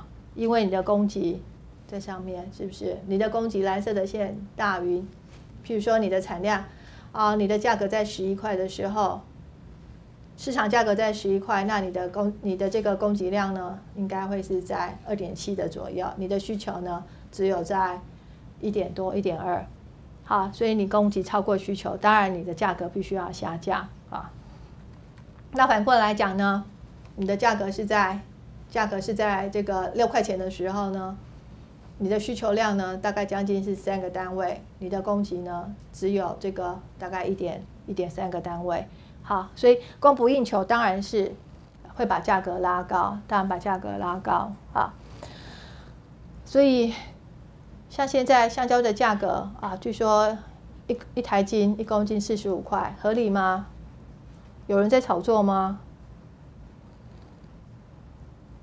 对，香蕉现在价格这么高。合理吗？为什么？因为供不应求，对不对？因为市场上需要的橡胶的量，需要橡胶的量是刚刚我们看到的，哎，可能是将近二点八单位，可是市场的量呢只有多少？一点三单位的量，所以当然价格是要上升的。好，OK，好，那刚刚讲到市场，我们讲有什么？完全竞争市场、寡占竞争、独占竞争跟这个。呃，寡寡占跟独占有这四个哈，那他们的定义呢？好，完全竞争市场是什么？很多的买方卖方产品呢，大概是类似的产品，分不出来哈。然后这个呃，寡占竞争的话呢，其实它还是有很多的买方卖方，但是产品是不一样的，产品是不一样的，你可以区别出产品的差异，就像刚刚讲。Zespri 对不对？奇异果的市场其实如果没有品牌的话呢，奇异果对我们来讲都是一样的。可是 Zespri 呢，它就不一样，不一样在哪里？因为它有一个小标签，对不对？其他的水果没有小标签啊，所以记得以后你卖的东西都贴一个小标签，就更加不一样了哈。好，品牌 OK，好，所以你可以看到。在完全竞争市场，我们举的例子，它是玉米，它是小麦，是香这个花生，很多的农产品。为什么？因为我们家种的玉米跟你们家种的玉米其实是一样的，除非我在上面贴一个小标签，对不对？好，雷老师生产的，那就不一样了，是不是？可以卖贵一点哈，因为雷老师是用知识去浇灌的哈，雷老师每天教念书给他听的啊。好，所以你要有这个差异出来的话，你就进到哪个单，进到哪里？进到这个寡占竞争里面去哈。所以衣服，这里我们举衣服跟鞋子。当然，对多数的成衣来讲，像制服，你以前读中小学、高中时候那个制服，它也都一样啊，对不对？它其实都是一样的，基本上都是一样。那真正的差异呢？有没有差异存在？不同学校的制服还是不一样，在同一个学校制服都一样，好。不知道你们现在会不会在制服上做一些小花样啊？以前我们年轻的时候制服都一样，都不太好看，所以我们就努力的把裙子把它缩短啊，男生就把他的裤子努力的把它放大，啊，变成超级喇叭裤这样子哈。然后那个书包的话呢，也要超级的把它放长，好，把它拖到地上去这样子哈，就是要自己创造一些差异出来，不然大家都一样。然后以前的男生呢，有一个大盘帽哈，如果你在看很古老的电影时候，还可以看到一个圆圆的帽子。啊，就像现在的这个啊，如果你看电视广告，那个有一个手机手机游戏广告是阿诺的广告，有没有？然后他不是戴一个帽子吗？好，那我们叫大盘帽哈，那个大盘帽，男生就会把它折起来，折得像飞机这样子哈，就更加不一样哈。所以更加不一样是一个还蛮正常的心态，不是吗？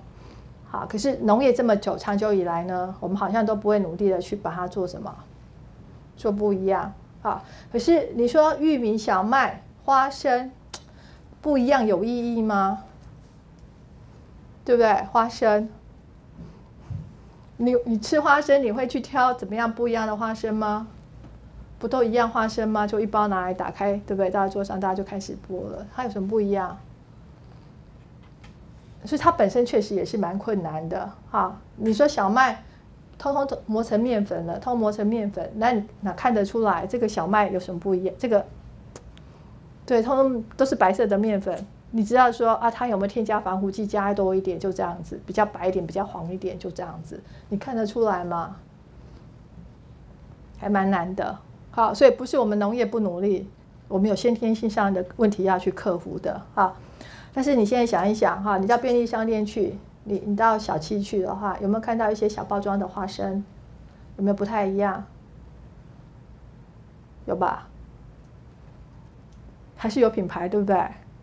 啊，当然你还是吃不吃不出来有什么不一样，可是至少它有这个小包装出来了，你就知道，你大概还是会去讲啊。像坚果的话呢，说到吃坚果，你就知道要吃哪一个牌子，胜利牌，对不对？好，强力强力广告，人家吃 V 吧，是不是啊？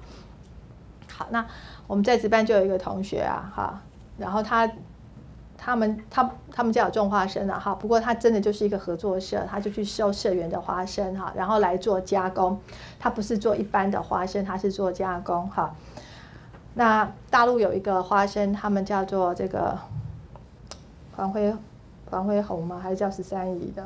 好，就大陆有一个花生叫这个牌子，所以他们也去调配了一个啊，也是比较辣的。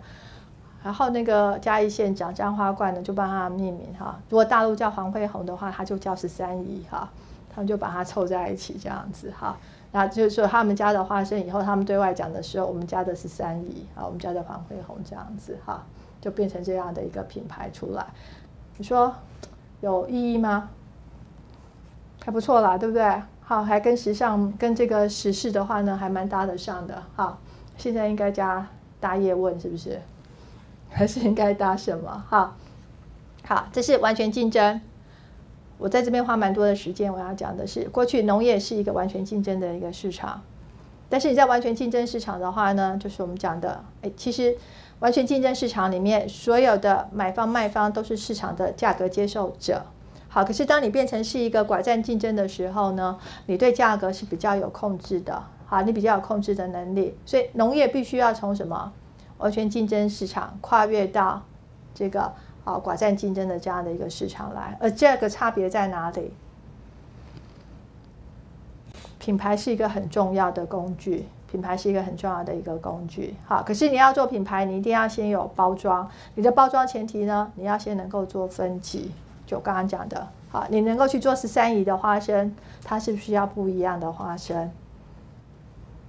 它长得好看一点，对不对？像十三姨一样漂亮一点的，好，你叫黄飞鸿的话，花生要硬一点，对不对？哈，可以踢出来，可以踢出无影脚的这样子，好，好，其他两个。monopoly 啊，就像我们讲电信事业啊，它可能就是一个 monopoly，呃，oligopoly 哈，monopoly 的话呢是独占哈，那呃，应该像我们的这个石油现在也是 oligopoly 了哈，我们有中油有台说哈，那 monopoly 的话呢，现在大概就是我们台电的这个配电的部分，好，配电的一个部分哈，呃。在发电的部分，事实上是已经开放了哈。在台湾发电的电厂是蛮多的哈，可是，在配电，就是最后输把电送到你家的最后这一段，它叫配电的这个部分的话呢，哈，配电跟卖电这个部分还是台电哈，还是台电独占哈。所以我们才要修电业法，就是要把最后这个部分的话呢，把这个独占的话呢，也把它开放出来。好，好，那呃。GDP 的地方我们就不去谈它了哈，大家会记得哈。GDP 的话就是呃最终最终价格最终产品的那个市场价格啊，它的一个加总哈。对，或许我等一下，我们先看物价指数吧哈。我们有消费者物价指数、生产者物价指数哈。然后通货膨胀率，大家可以看到下面的一个公式哈，这个是。同期的，就是我们是对照同期的哈，就今年跟去年的这个 CPI 的这个差，这个成长率的话呢，我们就就要做是年的通货膨胀率哈。当然，我可以去计算什么同月的，去年的去年的八月跟今年八月的这个通货膨胀率哈，这两个通货膨胀率的一个计算，那我们就可以看到来做比较哈。好，这是呃物价指数的一个观念哈。它一定有一个机器哈，那这是我们的物价指数的计算，因为是一篮子哈，那可以看到哈，在我们台湾的话呢，呃，居住类的这个比重的话呢是占最高的，占到二十八，占到二十八点多哈，再来是食物类，所以你知道这两类的权重最高，所以只要价格稍微一波动的话呢，物价指数的波动就会非常的高哈，物价指数的这个波动啊，它就会变得是相对是比较高，那当然。如果房屋的这个租金相对高的话呢，哈，这物价指数当然就相对是比较成长的会比较快速，哈。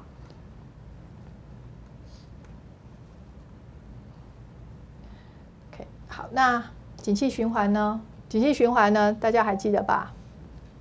把我们的这个呃，把我们的 GDP 的话呢，然后对着时间来画，那不是就有高低起伏的这样的一个状态吗？好，比如所谓的高峰，哈。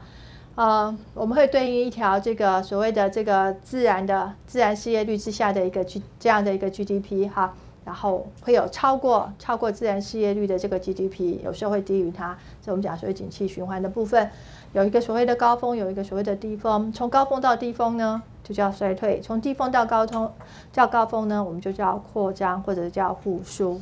好，那所谓的萧条呢？通常大家定义上，哈，你可以在课本上看到这个定。一般我们大家讲持续两个、两个、两期、两季，哈，这个经济成长率是下降的一个情况的话呢，我们就会叫经济衰退。好，那萧条的话呢，当然就是更长的一个期间，哈。但也有人有不同的看法，其实不是看它的连续几期这样的一个经济成长的一个呃这个速度的一个下降而已，应该还要看什么？下降的幅度，还要看下降的一个幅度，对，好，所以哎，这两期都是下降个零点零一 percent，跟下降个零点一，这个就差很多了，对不对？好，四点九一亿跟四十四点九一应该差蛮大吧？哈，小数点点错还点的蛮畸形的哈，但是如果你说 key in 的时候 key 错，还可能可以接受哈。好，所以这个。所谓的衰退跟萧条的话呢，它的那个深度哈，它的那个下降的那个幅度的话呢，是有很大的很大的一个影响哈。就我们觉得那个是应该要判断的哈。那在经济衰退的时候，在经济衰退的时候呢，它反映的是什么？从高峰，从经济产出的一个高峰到经济的一个低峰，就是你的产出一直在下降，一直在下降。产出一直在下降的意思表示呢，我不需要那么多人来生产，对，我们不需要那么多人生产，所以当然同时面对的是失业在增加，失业在增加，哈。那当然产出在下降的时候，供给一直在减少的情况，那它有可能出现的是什么？供给一直在减少。也有可能是因为需求减少造成的哈，那你记得需求减少的时候，它第一个反应啊，从一个均衡点需求是减少，它的第一个反应是数量下降，价格下降。所以当你价格下降，就我们刚刚看到的价格下降是什么意思？持续价格下降就变成是通货紧缩，通货膨胀呢是价格持续上升，对。物价水准的话持续上升，那就是通膨；然后价这个物价指数持续减少，那它就是一个通缩的现象。所以当总需求是减少的时候呢，出现的是通货紧缩的一个情况。好，所以价格一直不断的在下降，价格一直不断的下降，消费者会不会想要趁便宜出来减？会吗？就跟你讲说啊，现在 iPhone 剩下一万块，明天会继续再跌，你要不要再等？你要等什么时候？等它剩下一百块的时候，对不对？好，所以在物价下跌的时候，事实上是另外一个更恐怖的一个心理，我们大家就一直在等。那你说物价一直在上涨呢？在通货膨胀的时候呢？当然物价一直在涨，我们也觉得好痛苦，是不是？啊，钱会变得所谓越来越薄，你的薪水。好，你的一万块呢，在通货在价格越来越高，一万块买到的东西是越来越少，这是通货膨胀的一个概念。所以，当价格一直在涨的时候，大家又开始去抢购，不是吗？好，你就觉得它价格会越来越高，你就会去抢购，它反而造成的是什么？大家更疯狂的去消费。如果你已经预期价格会越高，大家更疯狂的去抢购，因为你赶快去把东西买下囤下来，因为它会越来越贵。好，可是。当它的价格一直在下跌的时候呢，大家都不想买啊，因为我就等啊，等它更便宜啊，所以你就造成的是什么？你好像更是什么衰退的一个情况。好，所以我们更不想看到的，通货膨胀不是好事，那通货紧缩呢，也不是好事。好，所以我们一直努力的想要去维持什么？不要太萧条，也不要太。不要太衰退，是不是？也不要扩张的太厉害，因为当你当你很扩张的时候，需求非常大的时候，物价就一直涨，所以产品也跟着一直生产出来，大家也很好的就业机会。可是当你到了极致呢，到了那个最高点的时候呢，经济热到头的时候，开始衰退，不是吗？好，那当然衰退到谷底的时候，衰退到谷底，到谷底呢？刚不是讲价格一直低，东西也没人生产，大家都失业了。这时候靠什么？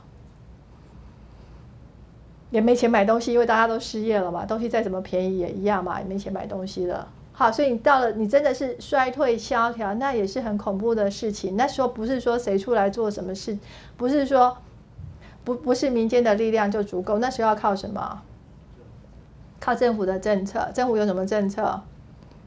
财政政策、货币政策，对不对？这两个政府最容易去使用的政策，哈，所以它可以靠。当你经济是非常不好的时候，政府可以靠它的财政政策增加政府支出、减少税收，用这样的一个方式来刺激经济，把这个衰退到谷底的经济把它拉上来，啊，或者用什么货币政策增加货币供给、降低税率，让企业有比较愿意投资的这样的一个动机。啊，用这样子来刺激这个经济。好，那反过来讲的话呢，当我们经济在过热的时候，我们当然也不要让它太热，因为太热的话呢，这个物价膨胀的太高了，过热，哎，当然就是一个什么衰退的一个开始了。好，所以我们努力的去踩刹车，政府也会努力的去踩刹踩刹车，所以财政政策、货币政策。也可以扮演这样的一个功能，好，所以它可以去在经济衰退的时候去刺激经济，让经济来复苏。那它也可以在什么，在过度的这个过过度扩张的一个过程里面的话呢，做这样踩刹车的一个动作啊。那所以这两个是我们最常讲的一个政策：财政政策跟货币政策。哈，增加在政府的支出跟它的税收上面来做调整啊，或者呢是在货币供给上面的话呢来做这样的一个调节。啊，那过去我们讲的货币政策，我们大家都是讲货币供给的调整，对不对？有政府有三个方法可以去做调整，哪三个？还记得吗？你们上过我的总金，应该你们上过我的金元，应该记得吧？对不对？大三的同学，你们大一的时候上过我的课，有哪三个方法可以去调整货币供给？公开市场操作，这个呃呃，那个存款准备率还有什么重贴现率这三个，对不对？好，这是三个传统传统上我们讲的这三个哈，我们讲的这个调整货币供给这三个工具哈。但是后来我们在这一次的金融海啸的话，又增加所谓一个数量宽松的这样一个概念啊，它没有不。因为利率已经过低了哈，所以没有办法去做从货币供给的数量上面来做调整哈，所以它直接的话呢，就是去印钞票的一个方式，好，直接透过这个呃直直接政府透过中央银行的这个呃它的这个这个呃资产负债表上面的话呢，直接就把这个超额准备的话呢放给这个银行去放款哈。这是数量宽松的这样的一个做法，那所以它的做法上面的话呢，就直接把那个所谓的啊，我们讲的利率的一个结构曲线的话呢，把它的长期利率的话呢，就把它压下来，用这样的一个方式来调整哈。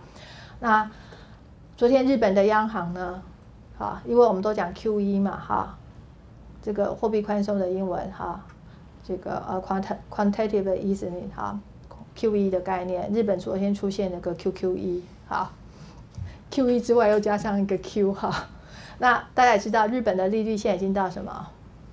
到负了嘛，已经到负的一个概念哈，所以它没有增加利率水准，它又继续再把那个钱呢，又再把它放出来，所以可以预期的呢，这个利率是会什么？会在更低，它可能会是在更低哈。那昨天晚上应该是美国联准会开会哈，美国的费的昨天开会，应该呃，应该应该决定出来了哈，那个利率是不是会调升哈？好，呃，如果美国调升利率的结果会是什么？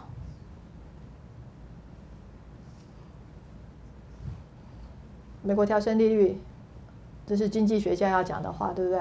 经济学家讲完了，就要换企业家来讲话了哈。好，所以美国费的呢，它如果调升利率会怎么回事？调升利率是一个紧缩的一个货币政策，所以它会把货币供给减少，所以会降低投资的一个意愿，是不是？好，会让总需求呢减少。好，所以基本上它。他想要做的事情是不要让经济过热这样一个动作，好，所以他要会调高利率。但是现在适合做这样的一个动作吗？调高利率就是要把经济的成长速度让它放慢，好，所以让它的这个呃 output 的话，让产出的话呢，让它有一点缓慢成长的这样的一个效果，啊，因因为这个呃利率会上升嘛，所以企业投资的意愿会下降，好，所以 GDP 的话，I 会投资会减少，好，这个时候适合吗？这时候是不适合的，好，为什么？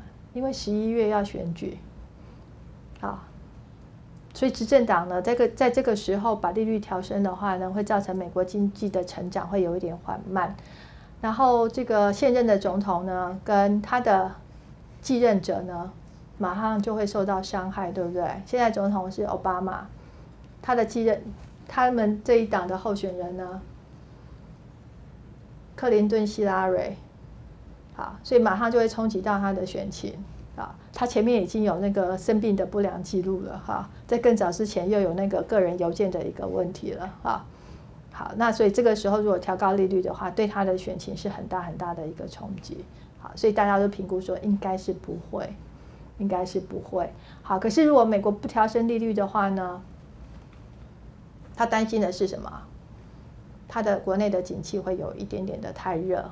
他怕的是这样子的一个情况，而且就是，呃，因因为当时这个货币宽松政策有说过要退场，好，货币宽松政这个这个机制的话是要退场。在有一些情况之下，哈，就是他们当时设定说，譬如说我的这个失业率的话呢下降到多少的时候，那我就要退场。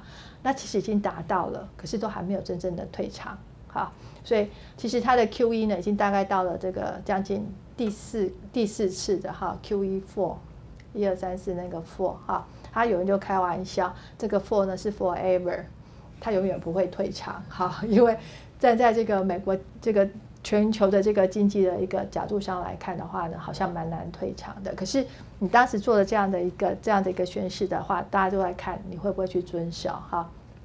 所以他处在这样两难的一个情况。好，经济学家讲完了，企业家呢就要站出来讲话了啊。美国升息不升息，你企业家做什么事情？企业家该做什么事？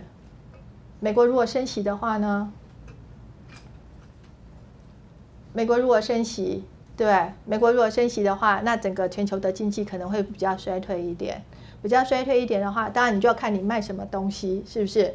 你卖的是不受影响的，不受这个经济这个产出影响，不受景气循环影响的产品，那当然没有关系，继续推。可是如果你卖的东西是会受这个影响的话呢，你可能就要稍微评估一下，我的产量上我是要做一点的调整。是不是好？那如果是哎持续维持现在的物价水准的话呢？哎，维持原来的利率水准的话呢？那大致上就还是差不多吧。好，还是可以维持你原来的这样子的一个生产的一个情况。好，好，这是在政策面了哈。那再讲一个例子，好，这个韩国的韩进不是宣布破产吗？对，韩国的货轮关我们什么事？对吧？韩国的货轮这家航运公司破产，关我们什么事？有没有事？长荣破产可能比较担心，对不对？因为我们可能都用航轮、用长荣来运输嘛。不见得，不见得。好，所以如果你仔细观察，这个韩进宣布破产的时候，他最重要面对面对的一个问题是，它的很多货柜在海上漂流，它进不了港口。因为所有的货柜进港口，它要卸货到那个港口下，货柜卸货要有那个储存的地方，你就要去租土，你要去租那个土地，所以进港的时候你就要付钱，你还要先付一笔钱去做抵押，说哎，我要把这个货柜放在放在这个地方，所以货柜放在那个地方，你不要想说船这个船开到那个港口了，货柜下下来了，一天就两个小时就下完了，你知道它下多久？你知道下货柜要下多长的时间吗？它不是一天一夜就可以下完，你要看它那个货柜量的大小，而且这个货柜下来之后，它不是马上就载走，它可能要在那个在那个码头上放一阵子，因为它可能还要检查，对不对？所以，如果说我们从，比如说我们从这个美国进农产品，我们出口农产品到美国去的话，这些货柜，你要想的是，这些货柜在海上已经漂多久了？进港口的时候，像碰到韩进这样的一个事情，进不了那个港口，船就在外海那边停着，你光是停在海上也是要收钱的。啊，那个船也是就已经在收钱了。进到码头去的话呢，码头那边也要收钱，这钱是谁付？好，那停在这个码头上，要送送去要去抽检，对，要去做农药的检检测，做什么的一个检测？货柜要在那边放个几天。所以为什么我们很努力要去争取，说我可不可以不要什么，不要抽查，我有一个什么证明就可以马上拖出海关出去？问题就在这个地方啊，那个货柜放在那里就是要钱的，所以你要检查三个月之后才可以把那个货柜拖出去，谁受得了？好，我说为什么我们会有那么多出现说，哎，怎么还是我们说莱克多巴胺的牛肉不能？呃，这个含只有莱克多巴胺的牛肉可以进，可以进台湾，什么奇帕特罗那个是违法的，那是很毒的，不能进，可是它还是流进来了。它为什么流进来了？因为我们在港口的时候，我们并没有说猪皮都要检查。好，那你只要这个之前有良好记录的话，我们可能就放心了。好，那甚至这个这个贸易商他会去要求说啊，这个在什么样的情况，你我签一个切结，你先让我放心，出出问题的时候我再把它回收就好，签这样的一个切结。好，所以他就流进来，流进来之后就到了餐厅之后，我们才被检查出来。可是切结有什么用？东西都已经吃完了。好，就是整个整个所有的这个呃，这这些这些问题的话呢，其实它是环环相扣的，它都是环环相扣。好，所以你不要觉得说，哎，这个小事，这是一个跟我没有关系的小事，其实都是有关系的啊，其实都有关系。那你再去追究为什么韩进会破产？它是全球大概在前三大的这个货运公司，我们的长荣好像还排在第七。好，它是排在前三大的，前三大破产，长荣会不会破产？不知道啊，哈，第三大都可以破产的话。是没有一定的事，没有一定嘛，没有一定就是说哦，最大的你就没事这样子。他为什么会破产？不知道，对不对？你就要研究一下啊。然后再下来，如果你是做贸易的话，我不能找韩进，那我找谁啊？我找谁来帮我运？是不是？这是企业家你要想的，这是企业家。我们现在不是，我们当然当然我们还可以在这边非常愉快的讲这些笑话啊。可是，如果你是企业家的话，你的货是在韩进的船上，在韩进的货柜上，你现在面临很大的问题，你是怎么样子把你的东西取出来？你要怎么样去把它取出来？不然你这批货全就没了啊！好，那接下来第一个问，下一个问题是什么？我不找韩进帮我运农产品的，那我找谁？我找谁帮我运？对？这是一个很大的一个问题。好，好，再延伸一个问题，呃。每次这个台风过后，我们不讲蔬菜，像今年年初蔬菜价格非常非常高吗？对不对？啊，蔬菜价格非常高，我们都是开始骂农委会不干事啊，这个蔬菜怎么复耕的那么慢啊，价格这么高，骂台北市政府啊，你们这个台北台北这个批发市场里面都是菜虫啊，哈，一大堆这个价格都一直高不下来。那当然台北市也很热心的，就去把这个市场把这个批发市场找来啊，他就说，哎，你们可不可以进口一下？他说：“是啊，我们也很想进啊。可是你想，一个货柜呢要有多少的蔬菜？一个货柜一千吨，对不对？我去哪里买这么多一千吨的蔬菜？平常没有在买，然后要在一两个礼拜把这一千吨的货柜填满，然后我去哪里买菜？今天在台湾，我大概知道谁在种菜，对不对？我知道我到西湖去，到到一个西罗，就是那边哦，都是种菜的地方。我到桃园八德那边很多在种菜的啊。那到世界去买菜，你要去哪里买菜？”就不是这么容易的事情，对不对？好，那那我们就问他说啊，那你平常呢？你冷冻库那么多，平常买一些菜放着吧。好，说老师你知道吗？应付台北市一天的菜呢，我们需要有多少多少冷冻柜？我们实际上现在只有多少多少，差了好远。还有呢，这些菜呢，我要放多久呢？万一都没有天灾的话呢？那我要放个三个月。老师，你知道吗？这些要放多少利息？要多少钱压在这上面？OK，好，所以这些都是什么？这些都是生意人在谈的事情。好，这些都实际在做事情的时候，你就要去精算你的利润，那就不是我们想的。如果所有的事情说 OK，政府我全部包了，这个。为了台湾的这个，为了台北市，然后我们需要盖一个啊，盖一个多大的一个仓储来应付台北市的这个蔬菜的一个调节？这一年要花多少钱？我台北市政府全包了，没问题，都没有问题。OK，那讲回来，这些钱都是谁要负担？台北市民要负担嘛？甚至还要分一些给那个不是台北市的市民去承担。好，因为还是要从国税拿出来。那当你从商业的角度来看呢？这就不可能的事情了，这是不可能的。好，所以站在民间的角度上面，当我做一个生意的时候，当我做一个生意的时候，我就要去想我的冷冻库可以盖多久，那我的通路我要去找谁买，我的这个周转率要怎么样子，我就必须要去精算。所以我不是在做，我不是在做慈善事业，没有人帮助我，没有人会给我一笔钱让我这样子去操作，所以我必须要有一套我自己的 business model 出来。好，那你说你这样子，你是不是在赚台风财？你是不是在赚不义之财？你都趁火打劫，对不对？好，农产品价格高的时候就把你的东西卖出来，平常都在储存。平常储存的时候不用成本吗？要吧，对不对？买的时候就要先花钱了，然后要有电费，要仓库的那个仓储也要租金。那我可能是借钱来的，我还有利息，这些通通都是啊，怎么会没有成本呢？啊，所以当一个商人啊，跟一个这个。这个政治家讲话的时候，他其实观点是不一样的啊。